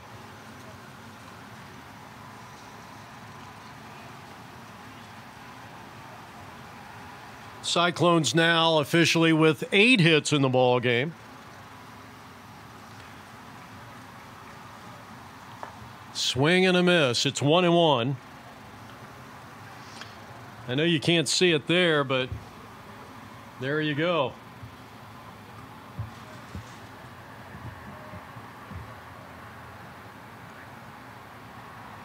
And it's grounded towards the shortstop. He's got it. Nice job by Dan. Low throw, scooped out nicely at first base.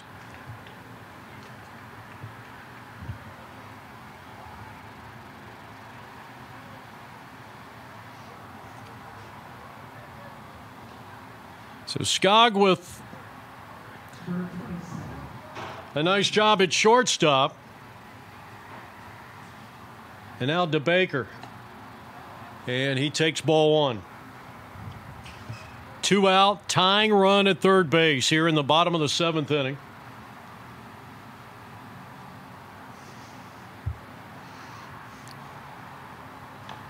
And a chopper foul. The count evens on Jason DeBaker, who has been a strikeout in his first two plate appearances. And there is a little front that is coming in, and I wouldn't be too surprised if we don't get some rain. I mean, I keep looking at the forecast, and this weather app on my phone, I mean, most of the time it's, it's on. But I'll tell you, if there's any weather, especially out here, it, I don't know. It's saying a very slim chance of rain. But then you look at the clouds that are coming in from the west, and they're a little ominous.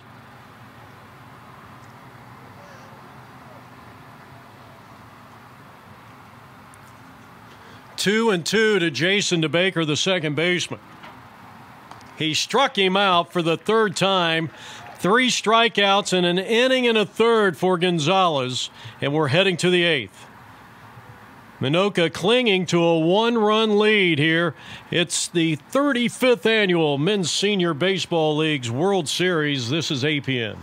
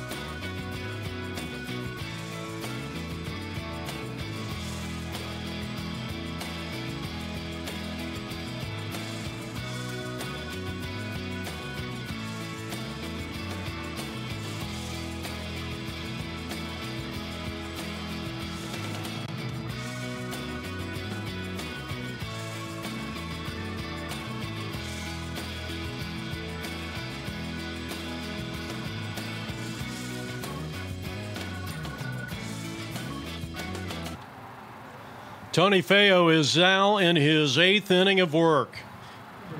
I think I think we have seen really a good pitching matchup here. A lot of the runs, you know, you got some unearned runs in there. You had a few from a wild pitch, but I mean, I think a tip of the cap to Billy Diaz and Tony Feo and obviously Alex Gonzalez. He's come in lights out, inning in a third, three strikeouts.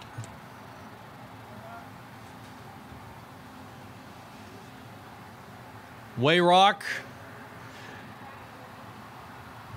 one for two, and nearly got hit by a pitch. One ball and no strikes as we go to the top of the eighth inning back here at Tempe Diablo Stadium, the winter home of the Angels. And here's a rocket down the line, and that's just foul.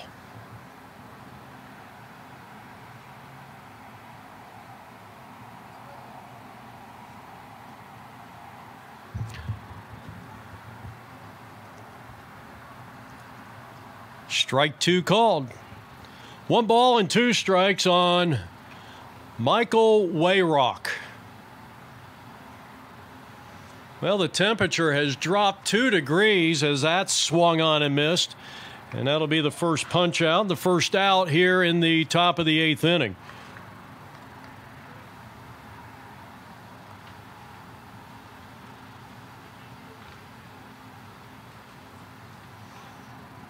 Third strikeout of the game for Tony Feo.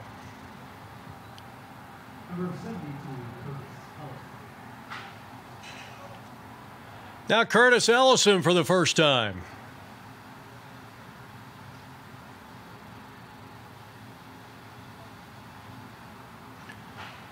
Takes the first pitch, the first offering for ball one.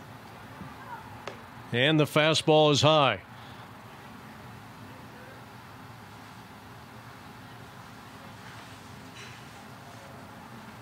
Temperature has dropped two degrees since our first pitch back at 1235. And we are just about a minute and a half shy of that 1232 hour time frame. Swing and a miss, and it's two balls and two strikes. We're in the top of the eighth inning. Well, Minnoka knows they need to win out. I mean, they're one win, two loss, and a tie, the 2 2. And a chopping ball to Edgar, who charges and fires perfectly on the first base, and there is two down.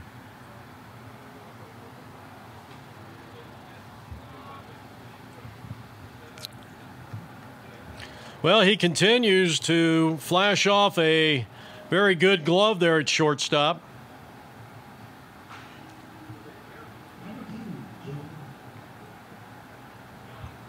Here's Edgar.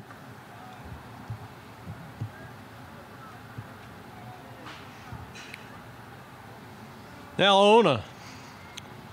Ona batting with two out here in the top of the eighth inning. In the eighth inning of work for Tony Feo. And that's in there for a called strike, and it's nothing in one. 35 and over, Cactus Division. And this one is hit high in the air, shallow center. Who wants it? Camacho with a nice running catch and that'll retire the side. So we're heading to the bottom of the eighth. Chicago clinging to a one run lead. They've led most of the game, and we'll have more on APN in just a moment.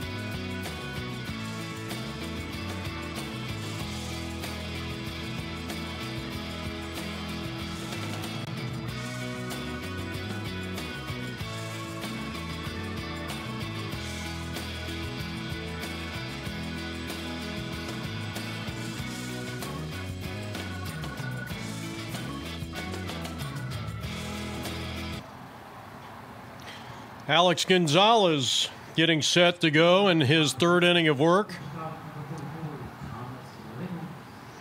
Thomas Ramos will be leading things off here. First pitch.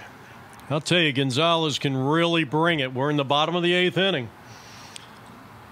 A 6 5 lead for the Grays, and this one is fouled out of play. And, well, he's one ball and one strike on Ramos, who tied the game with an infield two run single. Back in the sixth inning, Ramos, Tony Failed, and Tony Arbogast. And that is strike three, no, strike two called on the outside corner.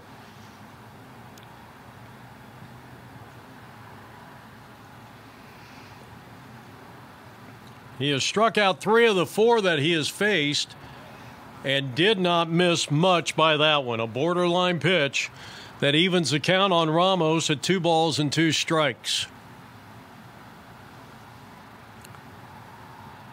And here's a 2 2. And a bouncing ball to first. Took a big, convenient Sunday hop. One down. Nick Larson with the put out at first base, and the always important leadoff hitter is retired here. And now the starting pitcher, who has went eight innings, Tony Feo, looking for his first hit. He takes outside for ball one. On this day in Major League Baseball history, the Rules Committee, all the way back in 1953, reinstated the 19- I'm sorry, that was in 53. The Rules Committee restores the 1935 sacrifice fly rule, which says a sacrifice fly is not a charged at bat.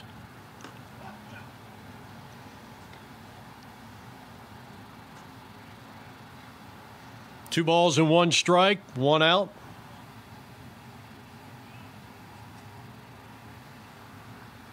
Gonzalez in his third inning of work, and this one's going to be out of play to even the count at two and two.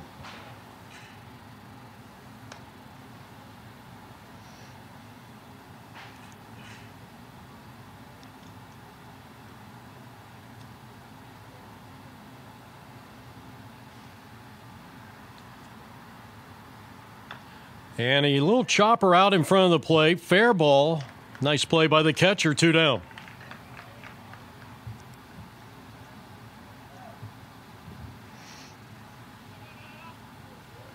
And again, this date in Major League Baseball history, 1982, Pete Vuckovich becomes Milwaukee's second consecutive American League Cy Young Award winner.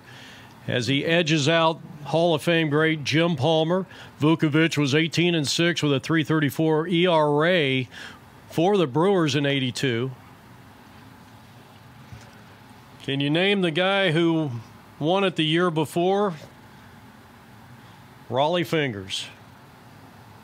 Two out. Jam shot. That evens the count on Tony at one ball, one strike. Tony has struck out and reached on an error. Two down, bottom of the eighth inning. Game right now, game time two hours and five minutes. He struck, oh, I'm sorry, that's a swing and a miss. One and one.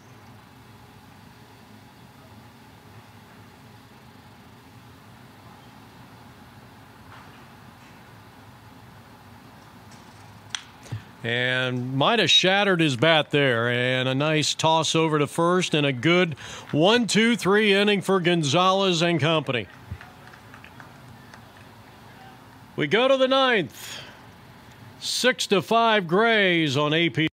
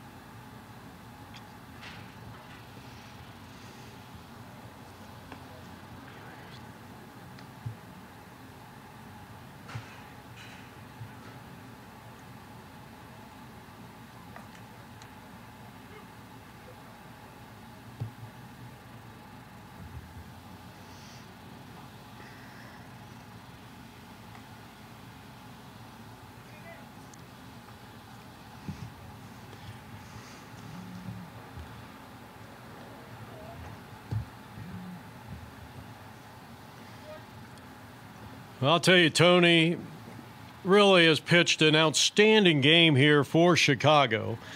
And he is out for the ninth inning, trying to get a complete game. Hope that his team can rally in the bottom of the ninth inning, but they got to take care of business here against the tough Grays. So we go to the top of the ninth inning, and Anthony, or rather Andrew Padilla, will be the first batter. He's down no balls and a strike. Here's a pop up out of play. I don't think the catcher's going to, well, he might. Couldn't make it.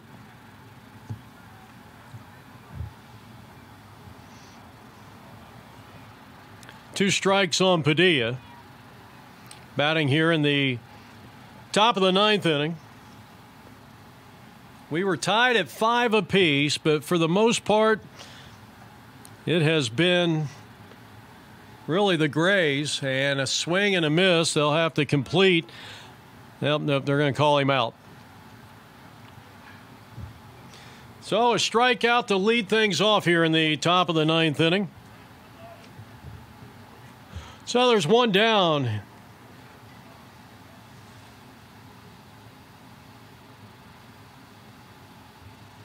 I got strikeout number four for Tony Feo. Here's Clapperich batting for the first time. A ball and no strikes. Now we got a sunsplash afternoon here in Tempe, Arizona. Here's a shot out in the center field, and this ball is going to drop in for a hit. 10th hit of the day for the Grays.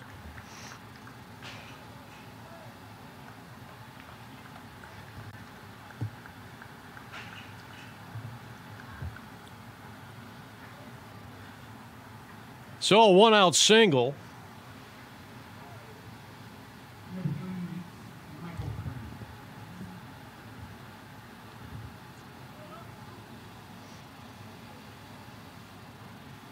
Now Michael Crane, as the runner goes, here's a throw down to second, and did he get the tag down? Yes, he did. That is the first caught stealing of the contest. They were nine of nine in attempts until there. So there's two down here in the inning.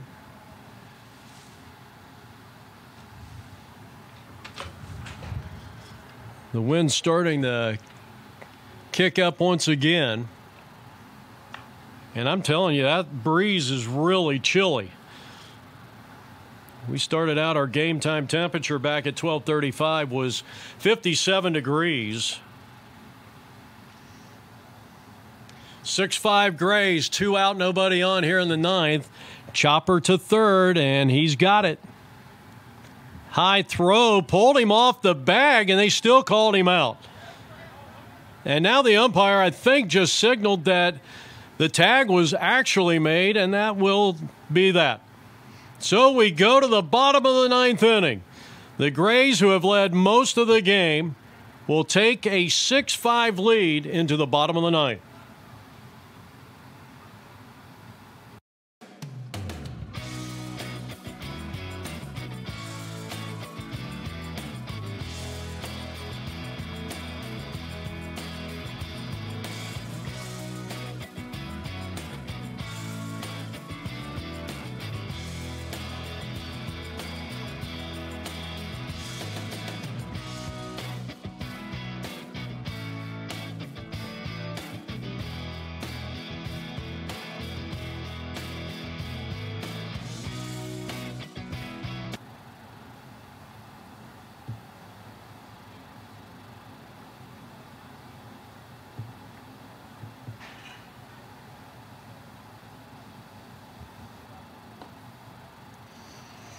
Jeff Lowery back here from Tempe Diablo Stadium. Alex Gonzalez, three innings of pitching.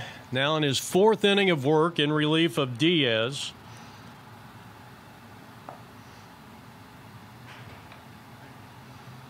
And all he has done is literally shut the door. He's given up one hit. He has struck out four. Came in in the sixth inning And now we'll try to save it as the Grays cling to a one run lead, bottom of the ninth inning.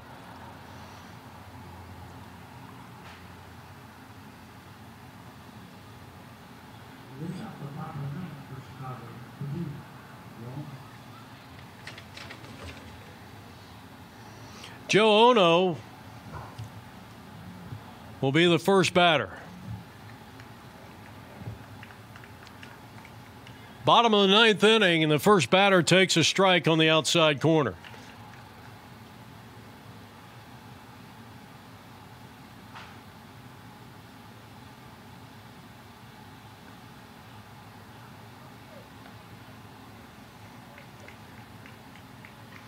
and it's Gonzalez' game to win. He would be the winning pitcher. And the delivery, and not a bad looking pitch.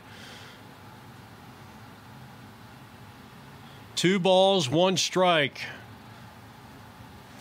Joe Ona, a single. He has popped up the shortstop in two tries, and fastball knee high. Well, he's he is really bringing it. I think he's one of the hardest throwers that I've seen in this tournament so far.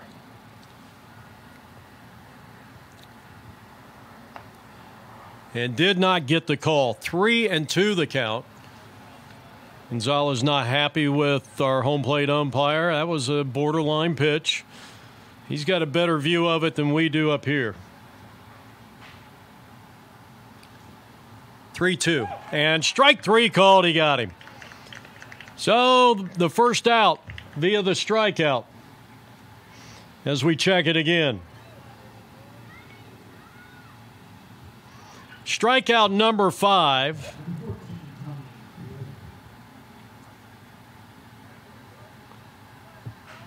Now Tommy Priolo takes the first pitch way outside ball one. That is five strikeouts in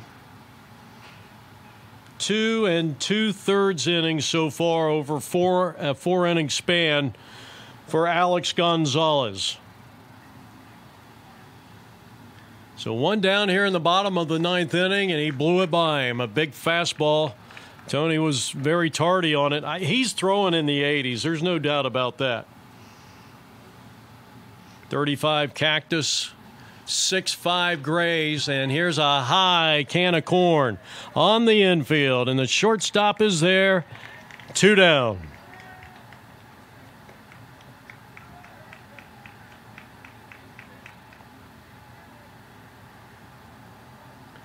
So Dan Skog played a, a very solid shortstop here today. So there's two down, and the last hope is Lee Smith Jr. First pitch is low, ball one, good fastball. Gonzalez has set down seven in a row and nine of the ten that he has faced since he came in with two out in the sixth inning.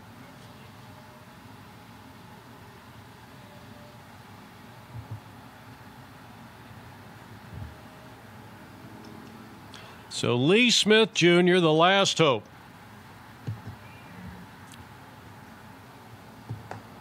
He blew it by him, and it's two and one. Here in the bottom half of the ninth inning, the 2 1 to Lee Smith.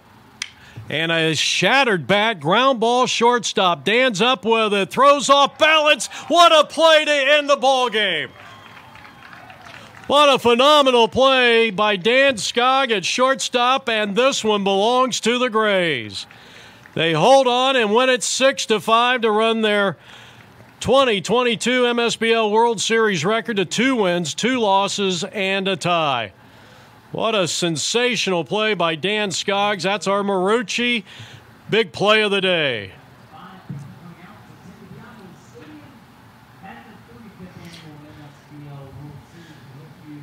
Mark Gallo, our public address announcer here today, and our final score behind the outstanding pitching of number 88, Alex Gonzalez. And the Grays go to two wins, two losses, and one tie with one game left to go. This has been a presentation of APN Sports, Arizona's leader in sports video coverage. Minnoka wins it 6 to 5. So long, everybody.